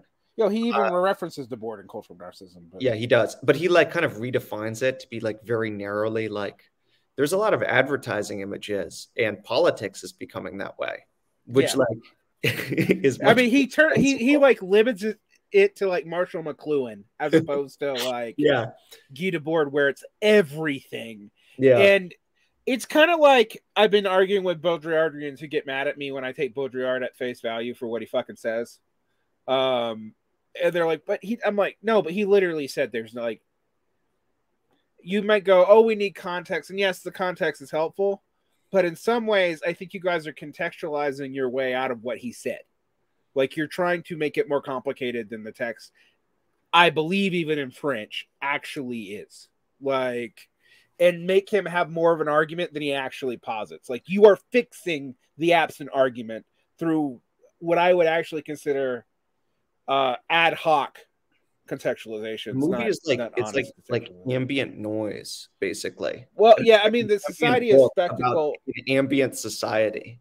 What one of the things about the about the situationists and the letterists who precede them is it's it's Dada rebranded as communist, Mhm. which doesn't really make that much sense. Yeah. Um like, uh, anyway, they're they're not our new left. no, they're not our new left. is like Tom Hayden, like stuff like that. SD. Eh, eh, Yeah. Uh, Norman Brown, the Frankfurt School, which is German but like exists here, um, particularly Marcuse, who's the one who stays. So, I think, and I think the idea that like the working class had become had internalized capital and become repressive itself is is very much that is in the American New Left. Um, that's it's not universal, and in fact, it I would say one of the things that Lasch unfairly doesn't deal with is in the 70s how many people tried to undo that trend and they Mhm. just couldn't like it failed over and over and over again but people were trying like okay we got to go back into the factories we got like he mentions it offhand but he doesn't really deal with He it. talks about it some in World of Nations, but he's like, it's not going to work. yeah i mean yeah he talks about that actually in world of nations and agony of the american left but like when he actually is writing about the new left later Then he like doesn't give them credit for the things that they tried. He talks Right. about the academics. Yeah, he talks Uh, solely about the academics, which I think is. I think one of the things, that- the problem that you have with Lasch is through the course of his life, he moves from social history to academic debate. And I think that's just the nature of his job. Yeah, But- though he moves back to social history. In, yeah, uh, later. uh, yeah. right after this. Um, and true and only heaven but um but even then his his social history is more of figures where whereas his social history and the essays that make up the agony of the american left uh, world of nations and uh, new radicals new radicals is in figures but agony of the american left and world of nations is not really about fi- individual it's, figures it's least about not every it's essay movements. It's about. Uh, anyway, let's let's Yeah. get back to. Uh, let's get back into this this we- is more intellectually Yeah, interesting but more frustrating we went off off on this tangent when talking about our new left and how Lasch doesn't give them enough credit. Right. Uh, well, also that Lasch sees them in the in the context of their Freudian Mhm. uh, manifestation. But I find it interesting. What I was pointing out, though, that really began this tangent, is in the '90s we have the new left come back, but it's frankified, so you don't recognize it. It's actually less comprehensible. So, like, I've come to respect that, like, Lacanianism actually isn't that different from. It's different, but it's not that different from other forms of psychoanalysis um but it's phrased incomprehensibly on purpose like um and and even people like uh, you know, I've talked to my Brazilian psychoanalytic friends, and they just admit it now. It's like, yeah, some of this is not comprehensible, and that's kind of the point. I'm like, so you missed it, so you remystified the new left, so when it was reintroduced, you wouldn't recognize it. Like that seems to have been an academic product uh, project of the late 80s or uh, 1990s. Like, because that's what my teachers were coming out of. I'm And trying so to think, I'm trying to think if that was my experience. I Uh, think it was done by your by, by the time you were a kid. Yeah, I mean we're we're like uh like the new, the millennial left, which is also the Gen Z left. If for those of us who are like old enough to you know read, um, yeah, you're you're millennial nihilists, but you still have basically the same left that we do. yeah. I mean it's like, and then also like the the new. It was not really like a new left style movement. It was very focused on politics, very focused on economics, uh, and then the cultural stuff was like kind of like the last gasp of loss, you know, of of defeat. Well, Uh, to me, it was like actually return to the norm. That's the that's the weird thing because that's for most of my life, what we experiencing right now is the norm of left politics. Um, well, that's something to look forward to. Uh, it sucks. anyway, I think actually one thing we started off on this huge tangent is that Lasch is not reading feminists and giving them enough credit. yeah, I was about to say that we're about to get to the to the section of Freudian feminism. He seems to like Firestone, but doesn't really deal with her very much, actually, in this section, which is weird. Uh, you will notice that Marcuse and Brown are just one figure. All Freudian feminists are lumped together. Now, I, I also will point out that, with the exception of Firestone, uh, these people aren't read anymore for the most part. And I get maybe they are in like very specific psychoanalytic schools. I think Stephanie Engel is, Yeah, yeah, that one I've still I think I have some stuff. and he spends the longest amount of time talking about. Well, like Karen Horney and Clara Thompson, I had to go look them up when I read this the first time. Like, because I'm like, I've never heard of these people. yeah, Like, I'd only heard of Firestone, and and then, uh, Engel and uh Dinnerstein and Cho- uh, and Chodorov, Chodoro, Chodoro, Chodoro, Nancy uh Chodaro, Chodoro, I don't know. Um, I have seen in print meaning that I've read other books where they have reference, but I have not read them and I wasn't taught them. I was taught, oh, this is what brought it up. I was taught Irigaray.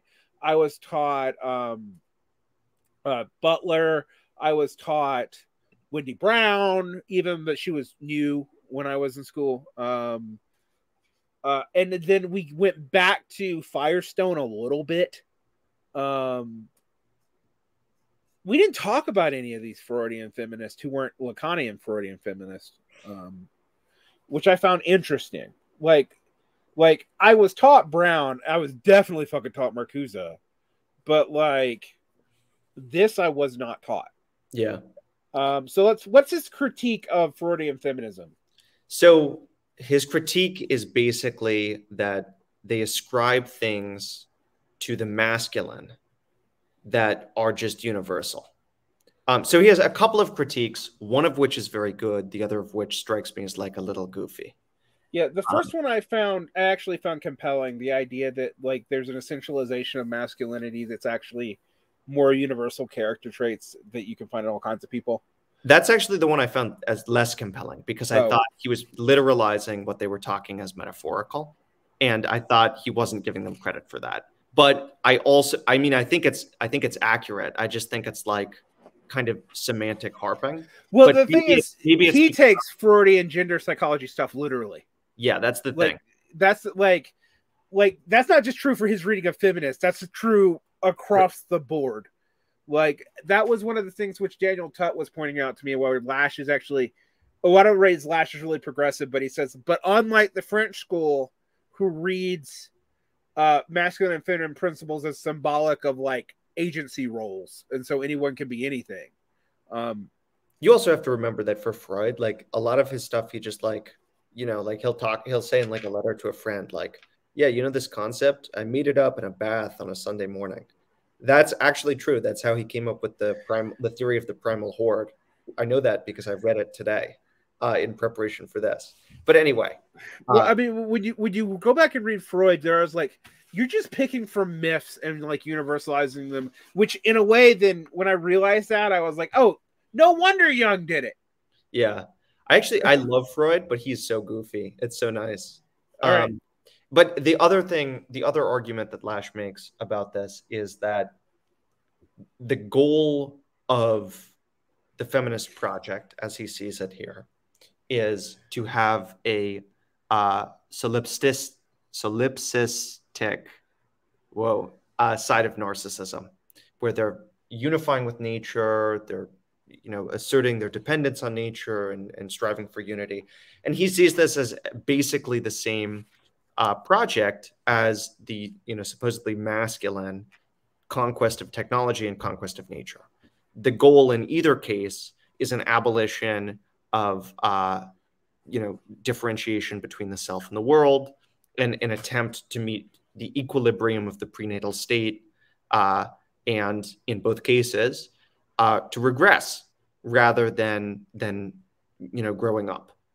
Um, yeah, this is the this is in the section that he entitles the case for for narcissism, masculine enterprise against feminine mutuality, which he basically says like both of these things are false. They're actually basically the same thing. Yeah, and I mean, I think one thing he says, uh, kind of implicitly, which is tied to the thing that I said wasn't that compelling, and you mm. said was compelling, uh, that there's feminine mutuality and masculine whatever, uh, is he seems to suggest this is actually the society we already have. Like, this is not something new. Um, this is like just the result of the fact that you're operating in a society where people have separation anxiety, where they like nature and they recognize that they're dependent on nature at the same time as they want to like conquer space, you know. Um, he doesn't seem to think that there's anything new about the solution at the deepest level um, in, in some way. I think that's so. Uh, you know, I find the I find the over essentialization of gender weird. In uh, it's it's it's a it's because I encountered it also in a, a, Irigaray, like and a lot of the Lacanian female, at least a French Lacanian female. I, I'm beginning to dig into the Slovene Lacanian women, which is another whole basket that I don't feel qualified to speak on. Um, but there is, in which case, sometimes it's metaphorical and sometimes it's literal, and it's easy. This is where I like get Alan Sokal's frustration with them because, like, sometimes they're making metaphorical claims that seem like they're making empirical claims, and they're based on like empirical science and then they deduce from the metaphor a structure that they posit as real. Um, and what i find interesting about that is that's actually less obscured in this but this would be this would have been highly unpopular even when i was in school like to talk about uh, feminine and masculine um, impulses this way. Like um, it would have been seen as gender essentializing. Um, so maybe that's my generational bias because I grew, I went through with even like Freudians. Mm-hmm. We're not talking this way, and and thus I never know when neo Freudians are being literal or not. Um, and it, like, and the one thing I can say about the French case is they're almost never. But in the German, English, and American case, it's actually very hard to tell. Yeah. Um, so, so I guess I'm more sympathetic, but I also found that I found that whole like masculine enterprise and feminine mutuality to be like, yeah, that like in so much those gender roles exist now, you're just expanding the implications of those gender roles to like a total a totalizing degree. Yeah, you're saying like you know get in touch with your feelings or be a girl boss, right? Like, um, and I just want to like clarify what the actual pitch is from the narcissists. Mm-hmm. Uh, so Lasch writes that Stephanie Engel says uh, that um, the exclusive that that basically there's a, a, goal to is to desire the desire is to reconcile ego and ego ideal The drive to return to the undifferentiated if infantile state of primary narcissism helps to provide the content and drive for the imagination, as well as the emotions that are at the heart of our creative life. Thus, an alternative to the Freudian model of emotional development is the insistence that neither agency of morality uh, should overpower the other. This challenged the moral hegemony of the superego would not destroy its power, but would instead usher in a dual reign. Um, so that's the pitch. Uh, and it's not, you know, I, I think Lasch's basic perception about all of this is this is a great diagnosis of a lot of the problems with the contemporary or the the liberal and the or sorry the superego and the egos yeah which he does identify as liberal and conservative although we're about to get to where he re-breaks that down. Yeah. so um he says this is a great diagnosis. They have horrible problems. Your solution does not work.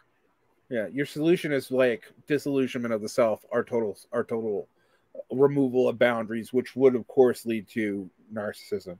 Yeah. And you know and like you know the worst kinds of narcissism. Right. Psychic you know in terms of psychic desiccation.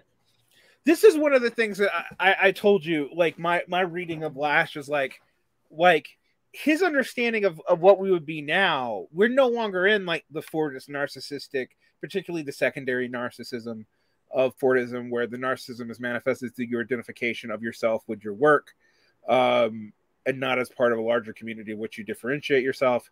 But now he would almost, you know, I said total psychic devastation. I think you're actually more technically correct in total psychic desiccation. It's a flip from secondary narcissism in the kind of Freudian framework to primary narcissism. And that's um, what he's doing in this book because yeah. He, in the last one, he only talks about secondary. And it's why Culture of Narcissism is not as good of a book as Minimal Self, in my opinion. Yeah.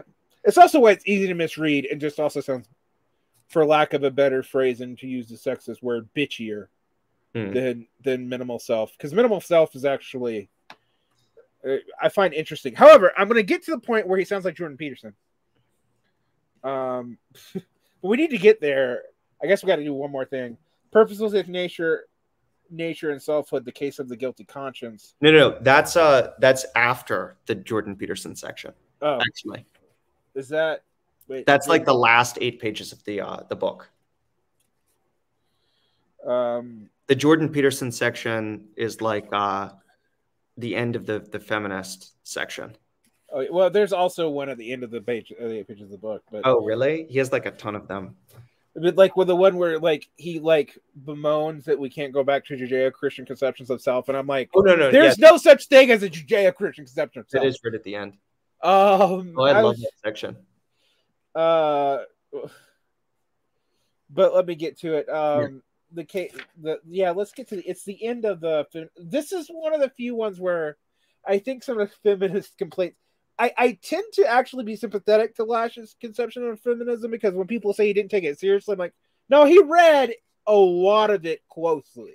Yeah. Um, he's kind of, and I think in in the book I'm reading by him now that I didn't read before because it's not chronological, and so I didn't know where to fit it.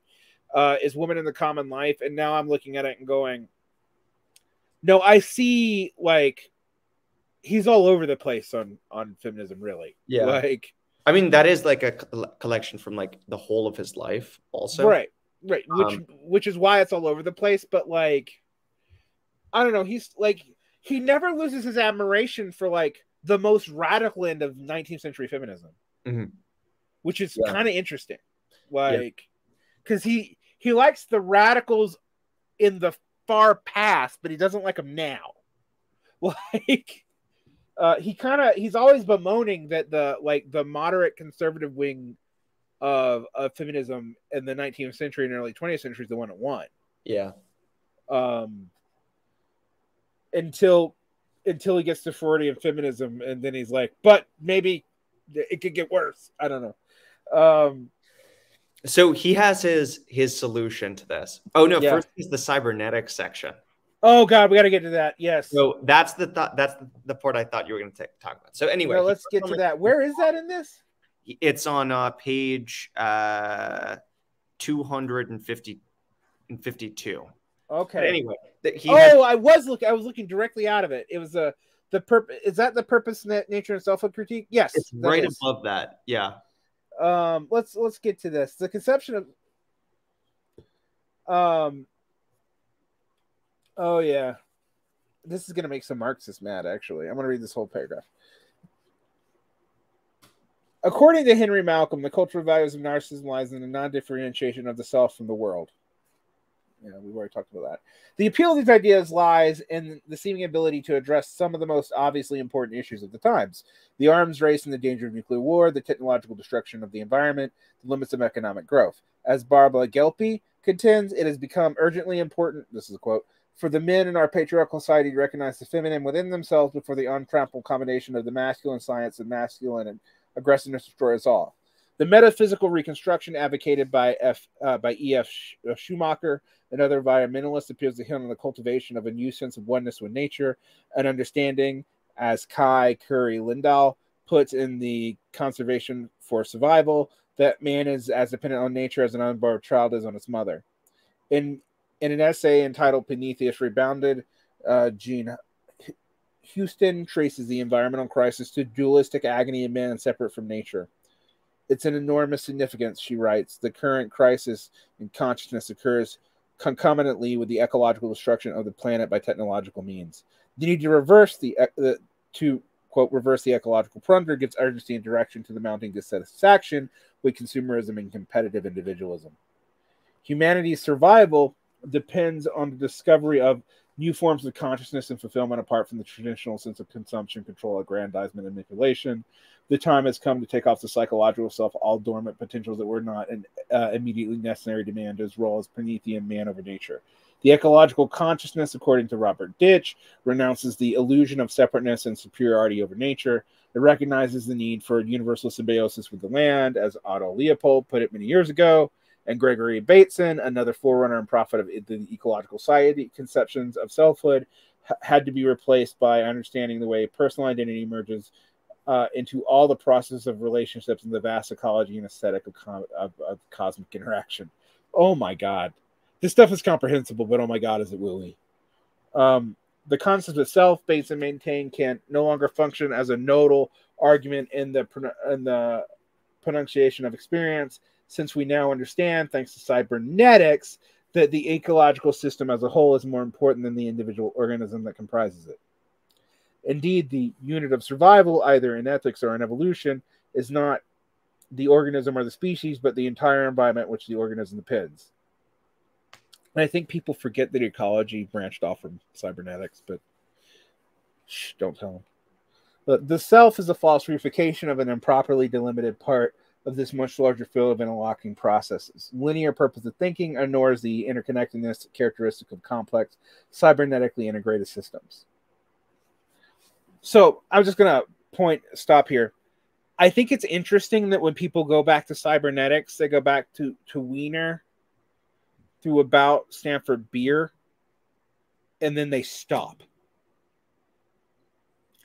and I think they stop. And, there's all kinds of problems with Norbert Wiener. One is like he assumes all kinds of stuff off the servo mechanic effect that I think is not justifiable, and it is basically um, he has a B.F. Skinner view of of the uh, composition of self, which I don't think people realize because they don't read. It, like the text he wrote with other people in the beginning, they only read like the human the human use of human beings. Um, and don't realize the problem with assuming, for example, that the servo mechanic effect leads to consciousness if there's any recursion, which I think, which I actually had an argument with somebody who was like, I think this limited learning stuff is going to lead to communists. I got this from Sabine, uh, and I'm like, no. like, uh, one thing we, we I can tell you is we is right now, given our understanding of neurology, does not appear that the neurological servomotor effect uh, can explain consciousness unless consciousness is totally ad hoc. Um, but anyway, it exaggerates the importance of conscious control. Uh, excuse me, blah, blah, blah, blah, blah. I skipped a lot. Okay. The self is a reification, blah, blah, blah. linear purposive thinking ignores the interconnectedness characteristic of complex cybernetically integrated systems. It exaggerates the importance of conscious control as referring towards the proper relations between thought and feeling upside down, and thus replaces the id with the ego. Psychoanalysis in, Bas- in Bason's view is a product of almost totally distorted epistemology and a totally sort of view of what sort of thing a man or any organism is. In common with var- varieties of scientific materialism, it overlooks the vast and integrated network of the mind. It amounts to a monstrous denial of the integration of the whole, which Lasch finds to be like like if you collapse self and whole, then there's really no meaning to either one of them. Yeah.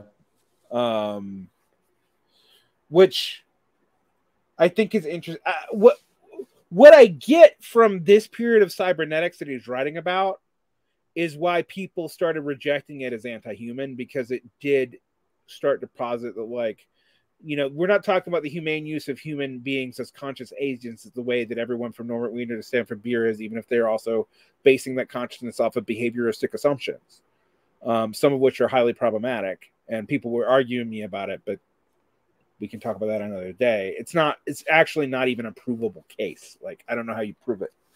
But um when you get to Bateson, you start seeing like, oh, they don't even think individuals are important anymore, nor is linear thinking important. Everything is systemic, and systemic also needs to be reduced to uh, feeling, our feelings about systems, which is interesting because it takes a, it does collapse. I mean, his point here is the whole like, like technological enterprise and cybernetic theory and mutuality totally collapses into one thing like um and it's and it's and it, it leads to like uh the de-identification of the individual with a self and into everything which is according to Lasch like the definition of narcissism. Mm-hmm. um okay. So so that's why we moved from secondary to primary narcissist. So we moved from Fordism to neoliberalism, kind of actually, weirdly. Um, although he wouldn't really make that conscious until 1988 when he writes about it in True and Only Heaven. Um, okay, so that leads us purposeful nature itself with the case for a guilty conscience, which I think is him. I think it's a really unsatisfying conclusion, but it's some beautiful writing. Yeah, I was gonna say it's beautiful. I mean, I like I like anytime someone sticks it to Jurgen Habermas. I like I get glee out of that. I mean, just for personal reasons. But uh I find his I find it interesting that Lasch's answer to this is Reinhold Niebuhr. And Reinhold Niebuhr is Obama's favorite philosopher. And in some way, for me, this is this is not a rational argument, but somehow for me, this proves that Lash is wrong about the answer. Yeah, I mean, uh, you know, MLK also quite liked Reinhold Niebuhr. So yeah, well, um, and Lasch likes MLK. Yeah. Uh, so I guess I think you know my conclusion to this would be that Obama probably misread Niebuhr. Uh, no, I'm joking. I don't know. The reason I think that this is unsatisfying is because it lacks political content. or yeah, I, I, ironically, he's so aware of this problem and everybody else. And but he's not giving he's not giving a solution. He's saying like this is a set of cultural attitudes and psychological attitudes which would serve as the basis for a better politics. Right, but we don't have the means to bring him back. Sorry, which no. yeah, which I find. Uh, you know, I my my friend Shalom Van Tine, who you know, who's co-writing this book with me, is always like, "Well, you don't have to posit an answer to a question if the question's unanswerable." But to which I say, he does try to posit an answer. It's just not an answer. It's just not an answer.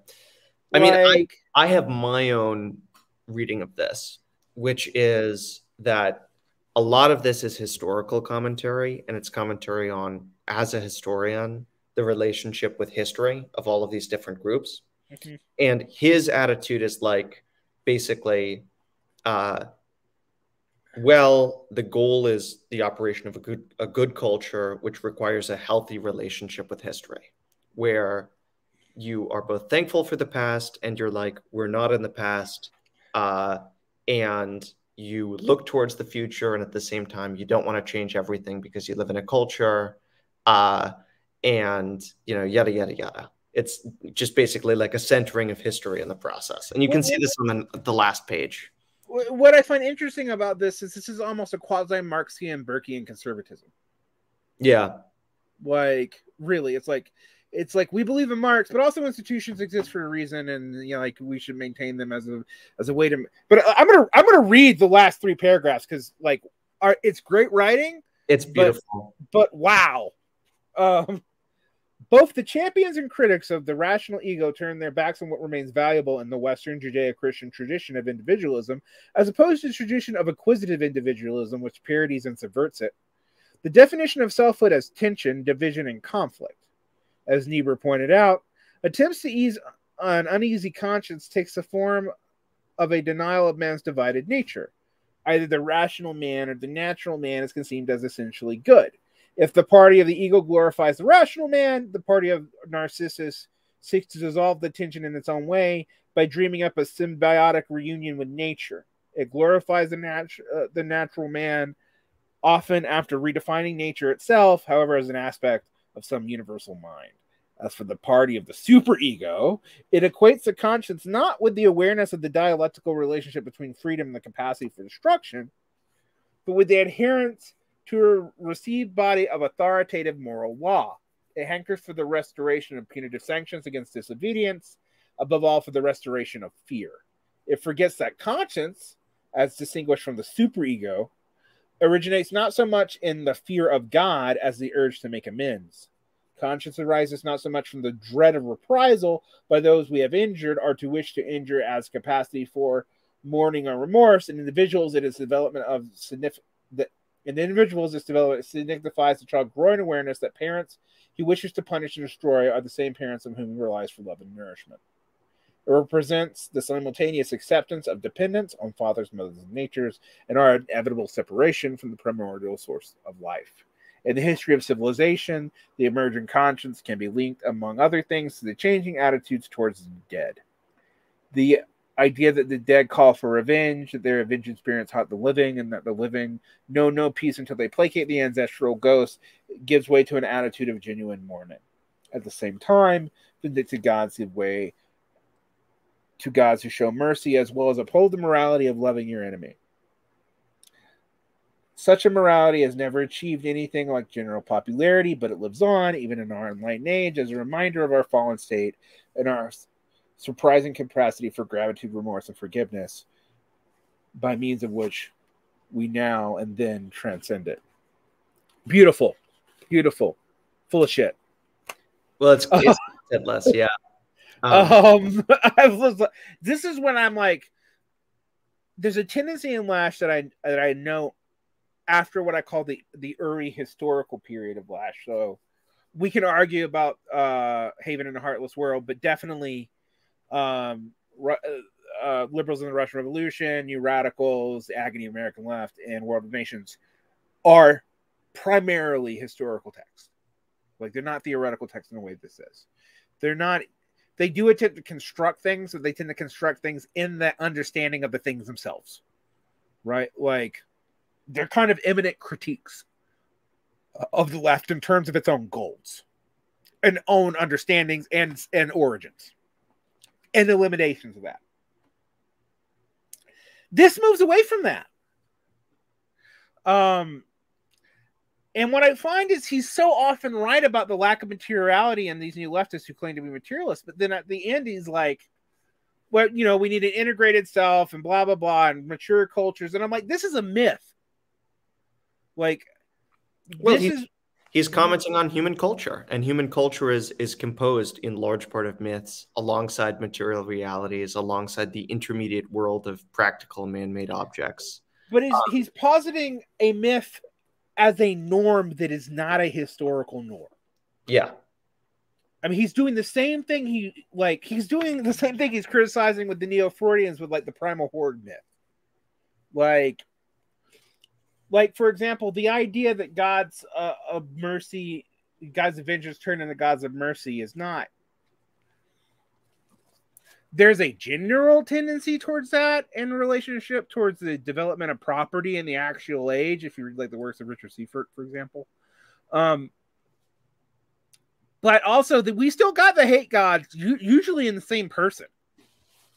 Like, and that's not just in Christianity, although where it's most obvious, where you have the loving God, particularly in Christianity, because you know you have the gods that's all good, and then that creates a problem of evil, which like, sorry, Jews don't have it. We just don't have to worry about that kind of crap. Um, we don't have an all good God. Easy way out of the question. um, the there's just there's just this positing here of like you know look at this tendency towards revenge but if we could integrate it you know it'd be great. I'm like yeah that's that is a freudian myth though itself. That the culture has moved for progressive integration which i find interesting because I, I actually think that's in conflict with lasch in 88 because because in this he's actually positing something like moral progress in that last chapter in that last three paragraphs. I mean, I, I don't think he uh, he thinks moral progress is impossible. I think he thinks moral progress is distinct from what's commonly understood as progress. Right. I find the whole thing to be a mistaken categorization like people when I talk about early lasch all you hear about me from praise. When I talk about late lasch I find myself agreeing with them until he gets to the answer of the question. And I'm like, your answer to the question is fundamentally conservative. Let's bring back the stuff we like, but like in the mature, less shitty form of like, you know, the we, we don't want the regressive, punitive, you know, misunderstanding of Jonathan Edwards' God. We also don't want um we want an attitude you know characterized by gratitude. I mean this is also liberal. This is uh selecting you know doing a pick and choose. Yeah uh, you want your reinhold Niebuhr, you want your right you weren't your you weren't your brother's Niebuhr, you know uh protestant liberalism of the 1940s back. That's what you want. Like that's why reinhold niebuhr plays such a role for him in this late work. And what I find interesting is Niebuhr's absent in his early work, which I, I do get why people thought maybe he converted to some kind of Protestant Christianity. But we don't have evidence for that. Like I've, you know, I read the bio. Bio is written by a Christian. Still, they, they still can't prove that Lasch was a Christian. He doesn't really try to. He doesn't know, right? So it's like, is he pulling the Jordan Peterson thing? Like we must believe in God even though we don't. Like because of the social results of that. And if that's the case, it is conservative, or it's it's it's a conservative. It's a it's a it's a attempt to re, to return to a prior form of liberalism. Yeah. Um, I mean, I think it's it's not so much we have to believe in God, even though we don't. It's we have to want to believe in God. Um, even though we don't believe in God, and thus, why would we want something we don't like? I mean, well, that's what he's saying. It's the divide between uh, between uh, unlimited aspiration and limited possibility, or whatever it says. Uh, yeah, the gulf between human aspirations and human limitations. See, to me, Lasch ends up mirroring through his Freudianism and uh, uh, Alasdair MacIntyre. Yeah. Uh, except Alasdair MacIntyre actually does try to adopt a truly pre-liberal worldview. Starting with virtue ethics and then going back like let's reinvent let's try to get back to aquinian ethics which even the virtue ethics people like i was reading um and this is by a conservative catholic but it's actually a pretty brilliant book uh and it's not rooted just in the critique of uh of Alasdair MacIntyre who like by the way is like one of my favorite thinkers. Like I, I, after virtue i think is basically where i get my ethical theories from even though i'm not a catholic at all. Um but i, I actually think the critique that was written about the whole uh, neo aquinian virtue ethics movement uh, before virtue assessing contributive virtue ethics by jonathan sanford like it points out that they really haven't been able to deliver on their critique of really revitalizing uh like an Aquarian worldview. Yeah. Um, which is which is why I mean that's why Alasdair MacIntyre like rejects the term communitarian. Well, the, the funny thing about the term communitarian is nobody who gets labeled a communitarian from Says Lasch, yeah, from Lasch to Averney to anybody says they're actually a communitarian. The only person who kind of accepts it is Taylor and Sandel, one liberal, one kind of anti-liberal, but still kind of liberal. Like uh Sandel conceives of himself as like a like an anti-liberal liberal left wing or something. I don't know how that works, but that's what like he kind of you know, he's against markets, he's against the cult of authenticity. Uh, like he thinks he, he thinks basically the liberal communitarianism of Charles Taylor is Canadian brain rot. I mean, he wouldn't call it that, but like um, but then you know with Sandel, you get a similar problem where like there's kind of political economic analysis, but then really he thinks that that political economic analysis actually fully descends from culture, not the other way around. And uh, Lasch is interesting to me because, in a real sense, Lasch can't. I don't think Lasch ever decides which one he thinks is primary. Like, he he always argues that the problem with populists and to some degree the problem with Marxists is they don't take culture seriously enough, or they see it entirely as epiphenomenal. But then he's always portraying out how the cultural theorists aren't taking like what we would call social, yeah, material reality or social reproduction all that seriously. Um, but then at the end, what does he what what does he posit? It's a cultural answer, and I I uh, Shell and and I argued about this per- privately, but I'll air this this argument where I said I think his problem is literally his discipline. Yeah, I mean, I, I think he has, uh, I think he could have benefited from a background in economics or law.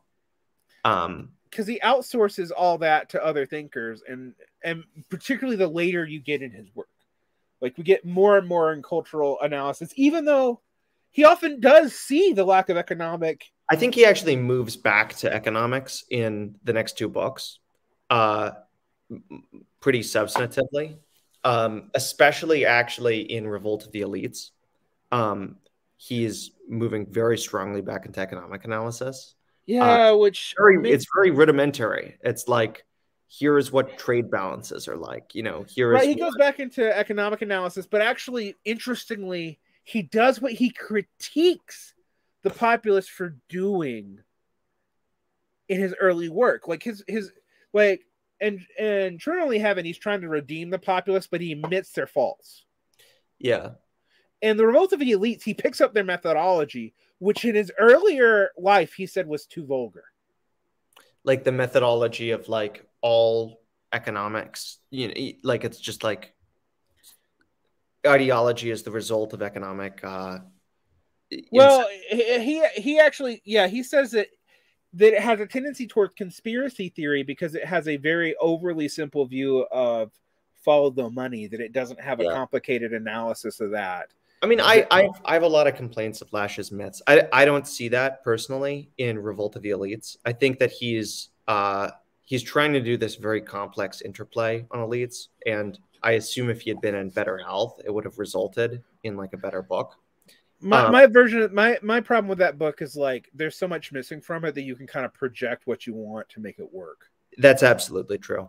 Um, like, I mean, and it's got a lot of sections which have like problems, uh, which arises from similar stuff to the stuff we're talking about here, which is like his myth making and how he gets more and more reliant on it as a means of political activation. yeah, every now and then I want to blame his daughter for that, but I've actually been told by people who have interviewed her that that's unfair.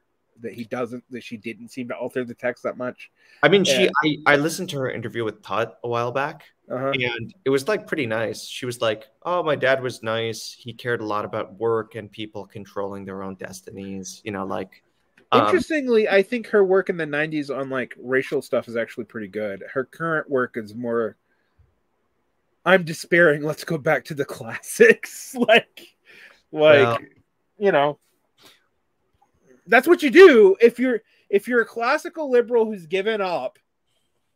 You regress back to Greece and Rome, like, like, um, you know, you, you pull the 19th century thing and you start like, let's go back to the classics, but not like the like not the classics as understood by themselves. The classics is re-understand them as part of this Western civilizational project, which we kind of made up in the 18th and 19th century.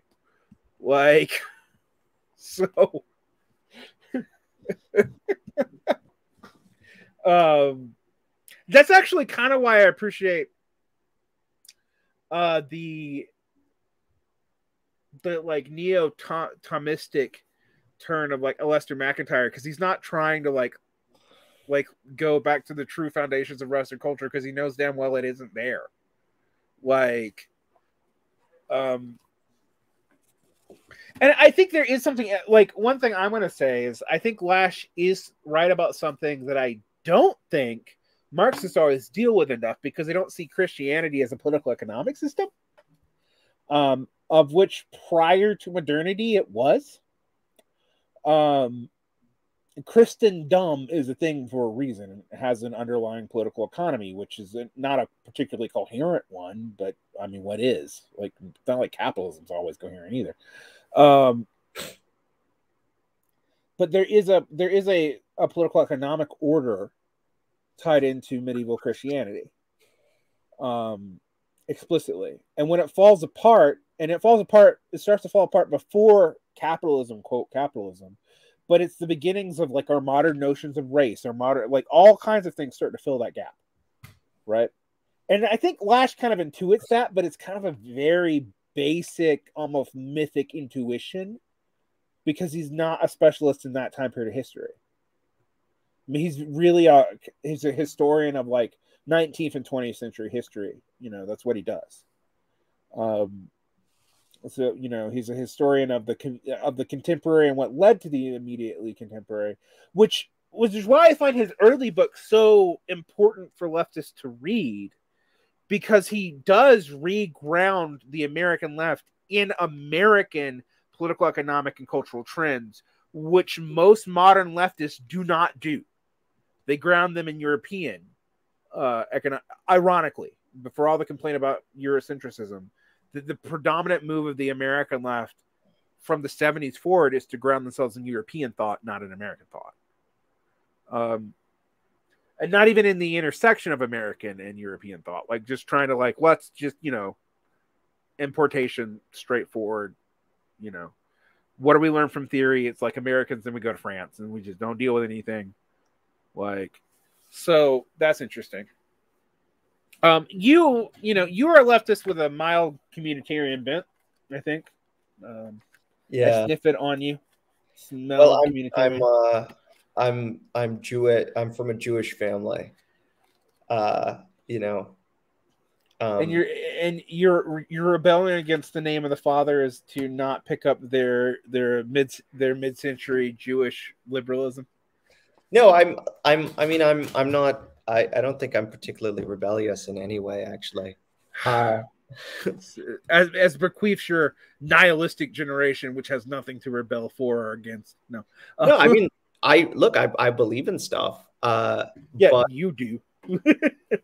I I like my generation. I think that people are nice. They're doing the best they can. So, so here's what here's what I think. I actually really like young people right now.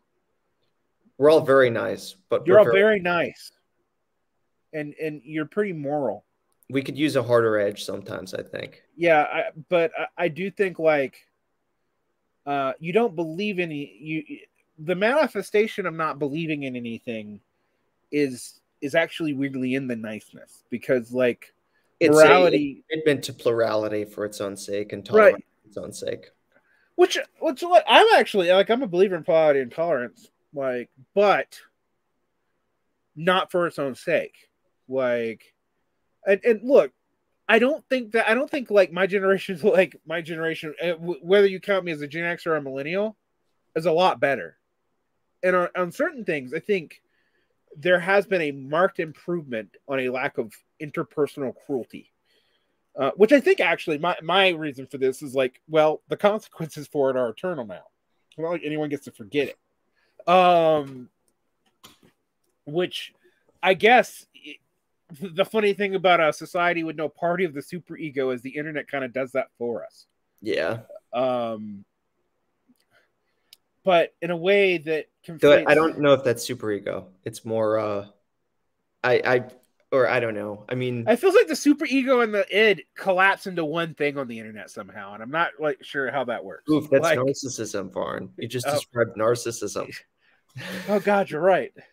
there's no meaningful distinction between self and other. So there's no meaningful distinction to uh yeah. So you know, I, I I like to to joke that I'm that I chide you so much because maybe in trying to prove me wrong, you're you'll save your generation from their from their asociality. Uh, I'm very social, but I or I try my best. But yeah, I know. It's, I think you are naturally, but also do it to spite me. Um, because we're always harping on how uh, Zoomers and younger millennials are like asocial creatures. But notice I'm saying asocial, not antisocial. I think people need to understand the difference. I don't think that like like Gen X is antisocial if we're going to characterize a generation meaninglessly, right? If we're going to posit a generational archetype and myth, the the Gen X archetype is antisociality. Um, and the millennial to Z would be asociality, right? But notice I just made this shit up on the fly. See, this is easy to do. Um, it's fun too. Like, yeah, this is my this is a lot of my problems with like psychoanalytic theory. Is like I can just bullshit with it. Like I can come up with categories. I can rigorously analyze the world through a lens that I made up on the fly. Like, which is useful to learn. You know, it's useful to learn. Like, you learn analytic weirdly you learn analytical rigor doing this stuff but you're also making up your categories ad hoc as it's convenient to you um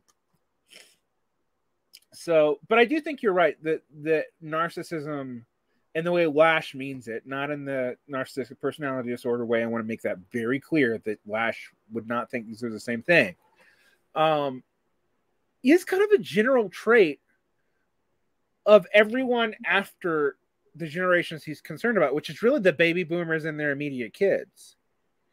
Um, we are like, we are the the generation. Like, I am the dividing line of after that, like almost literally. Um, you know, I'm born in the time period Lasch is dying, so I find that interesting because a lot of what he describes actually does remind me of the world I grew up in and then I see it now and I see it everywhere. But I, um, I part of me goes, and this is part of my resistance to Lasch. Like you know, I love Lasch; he's incredibly crucial to my thinking.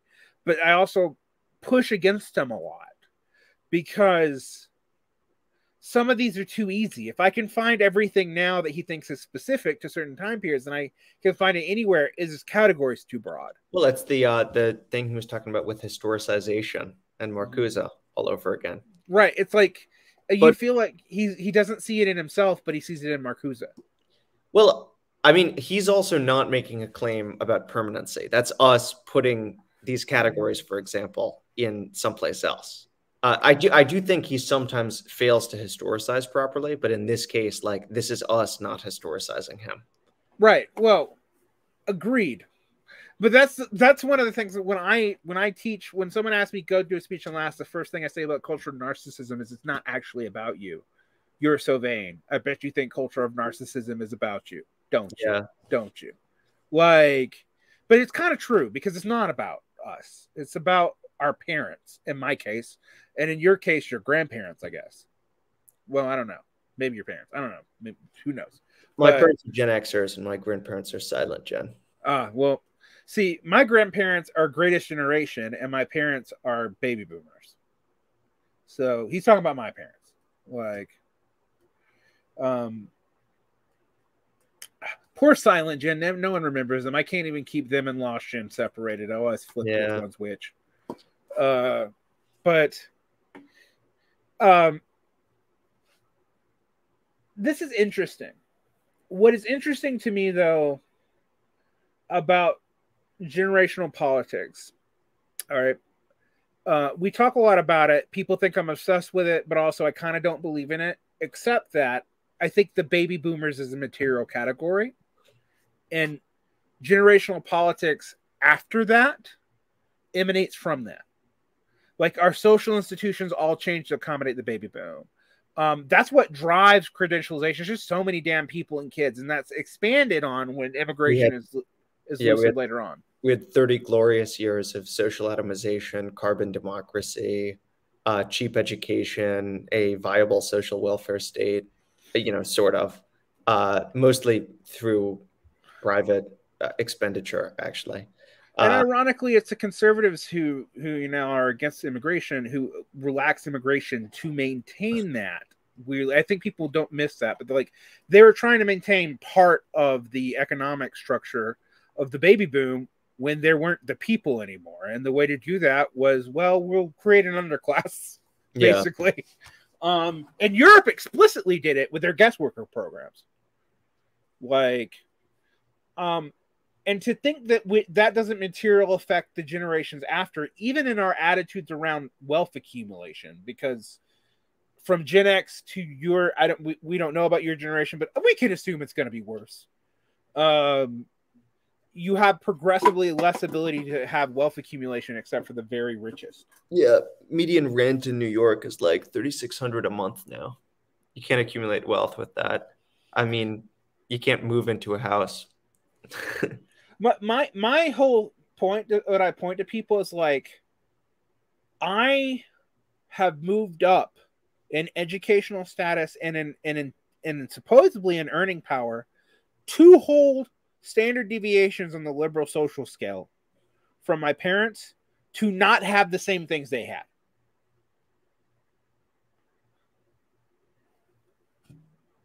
You know, like like my mother was homeless, but after her first marriage was able to get together enough to buy a house. That's you can't imagine doing that now.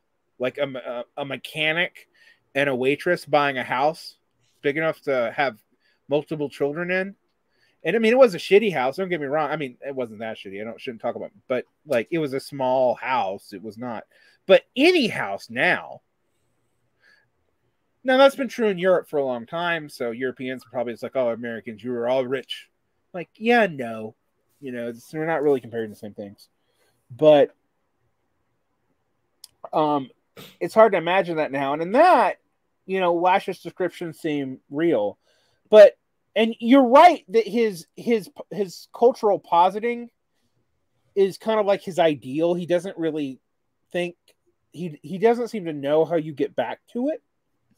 Um, and increasingly, I think in his '80s writings, he's like doesn't even he he seems to want to have it both ways. Actually, like to me, that's a realistic critique of him that we see kind of at the end of this book.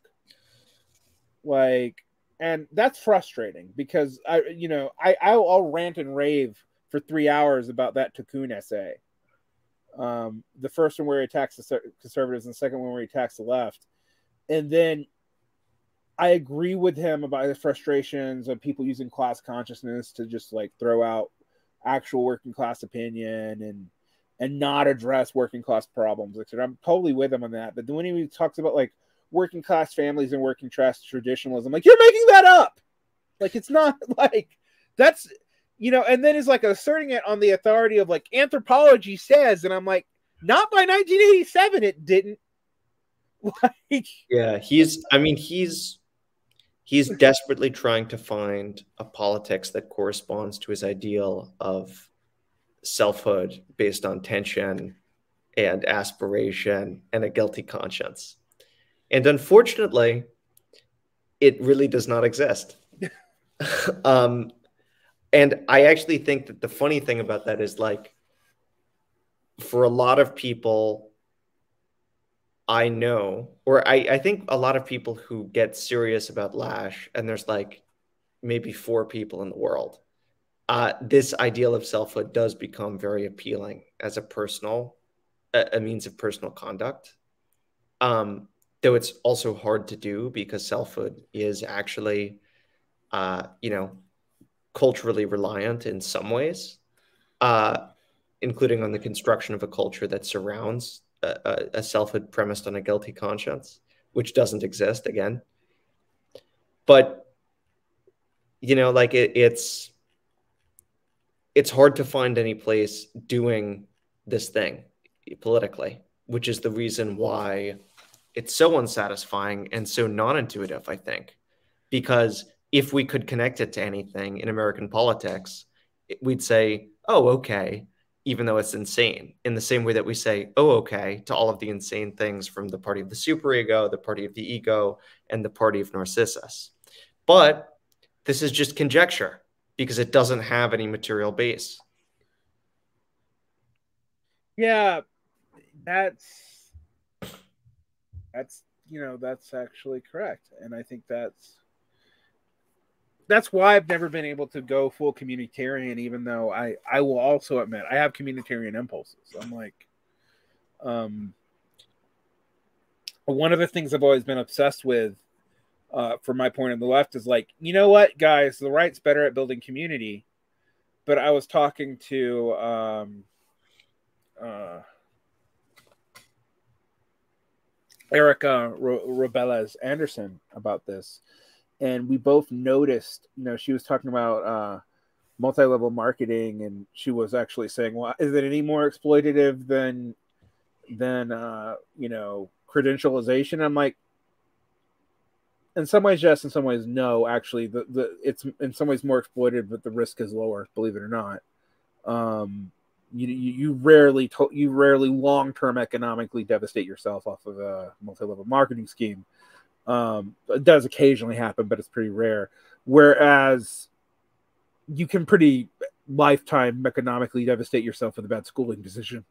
Um, that that said, the one thing that I we were talking about, like the social innovation of mega churches, how they were better at, at integrating women and stuff. Stuff Lasch would probably like, and talking about how the left need to learn to that. We both noticed that it all ended with the financial crisis. Mm-hmm. Like that's when that really started to break down and that's what actually you know and I, I didn't push back on her with this because i actually like some of her points but i was thinking you know that was why i thought mega churches were a sign of secularization even though they were super innovative and and better at a lot of things than traditional churches they actually indicated that they needed to be to continue to survive um but i do sometimes admit that it's frustrating like conservative media tends to have a larger female audience than left wing media, even though women are not particularly conservative. Why is that? Like, you know, and stuff like that. Um, and that doesn't seem related to Lasch at all. Yet somehow I feel like there's something in what Lasch is struggling with feminism, some of which I think you can account to his perhaps sexist, very much too literal view of Freudian dynamics. But there is something there about the way a lot of the left both valorizes but is not attractive to a female audience. Like there is something in that. And I, I can't really tell you what exactly. Um, and it's not that there's no, I mean, there are plenty of women on the left, but like if you look at people who engage in leftist media projects, engage in leftist theory, even engaged in a lot of like the political end of leftists organizing, not the social end, which does tend to social activists do tend to be women. Though I, uh, I will, I mean, I.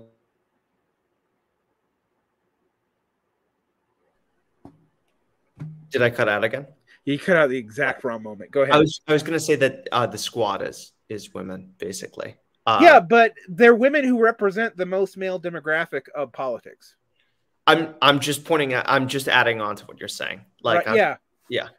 Like with the, but that that I I've rubbed my hand around that. Part of me I think it's like a defensive gesture. Yeah. But I don't think it's just that. Like and I don't think it's the feminization of beta cuck men. Like that's not what I think is going on, really. If you've ever dealt with leftist men, they're just as toxic as any right wing pro anyway. Um particularly if they're my generation. But um uh maybe there's hope for you Zers and millennials yet. But uh but yeah.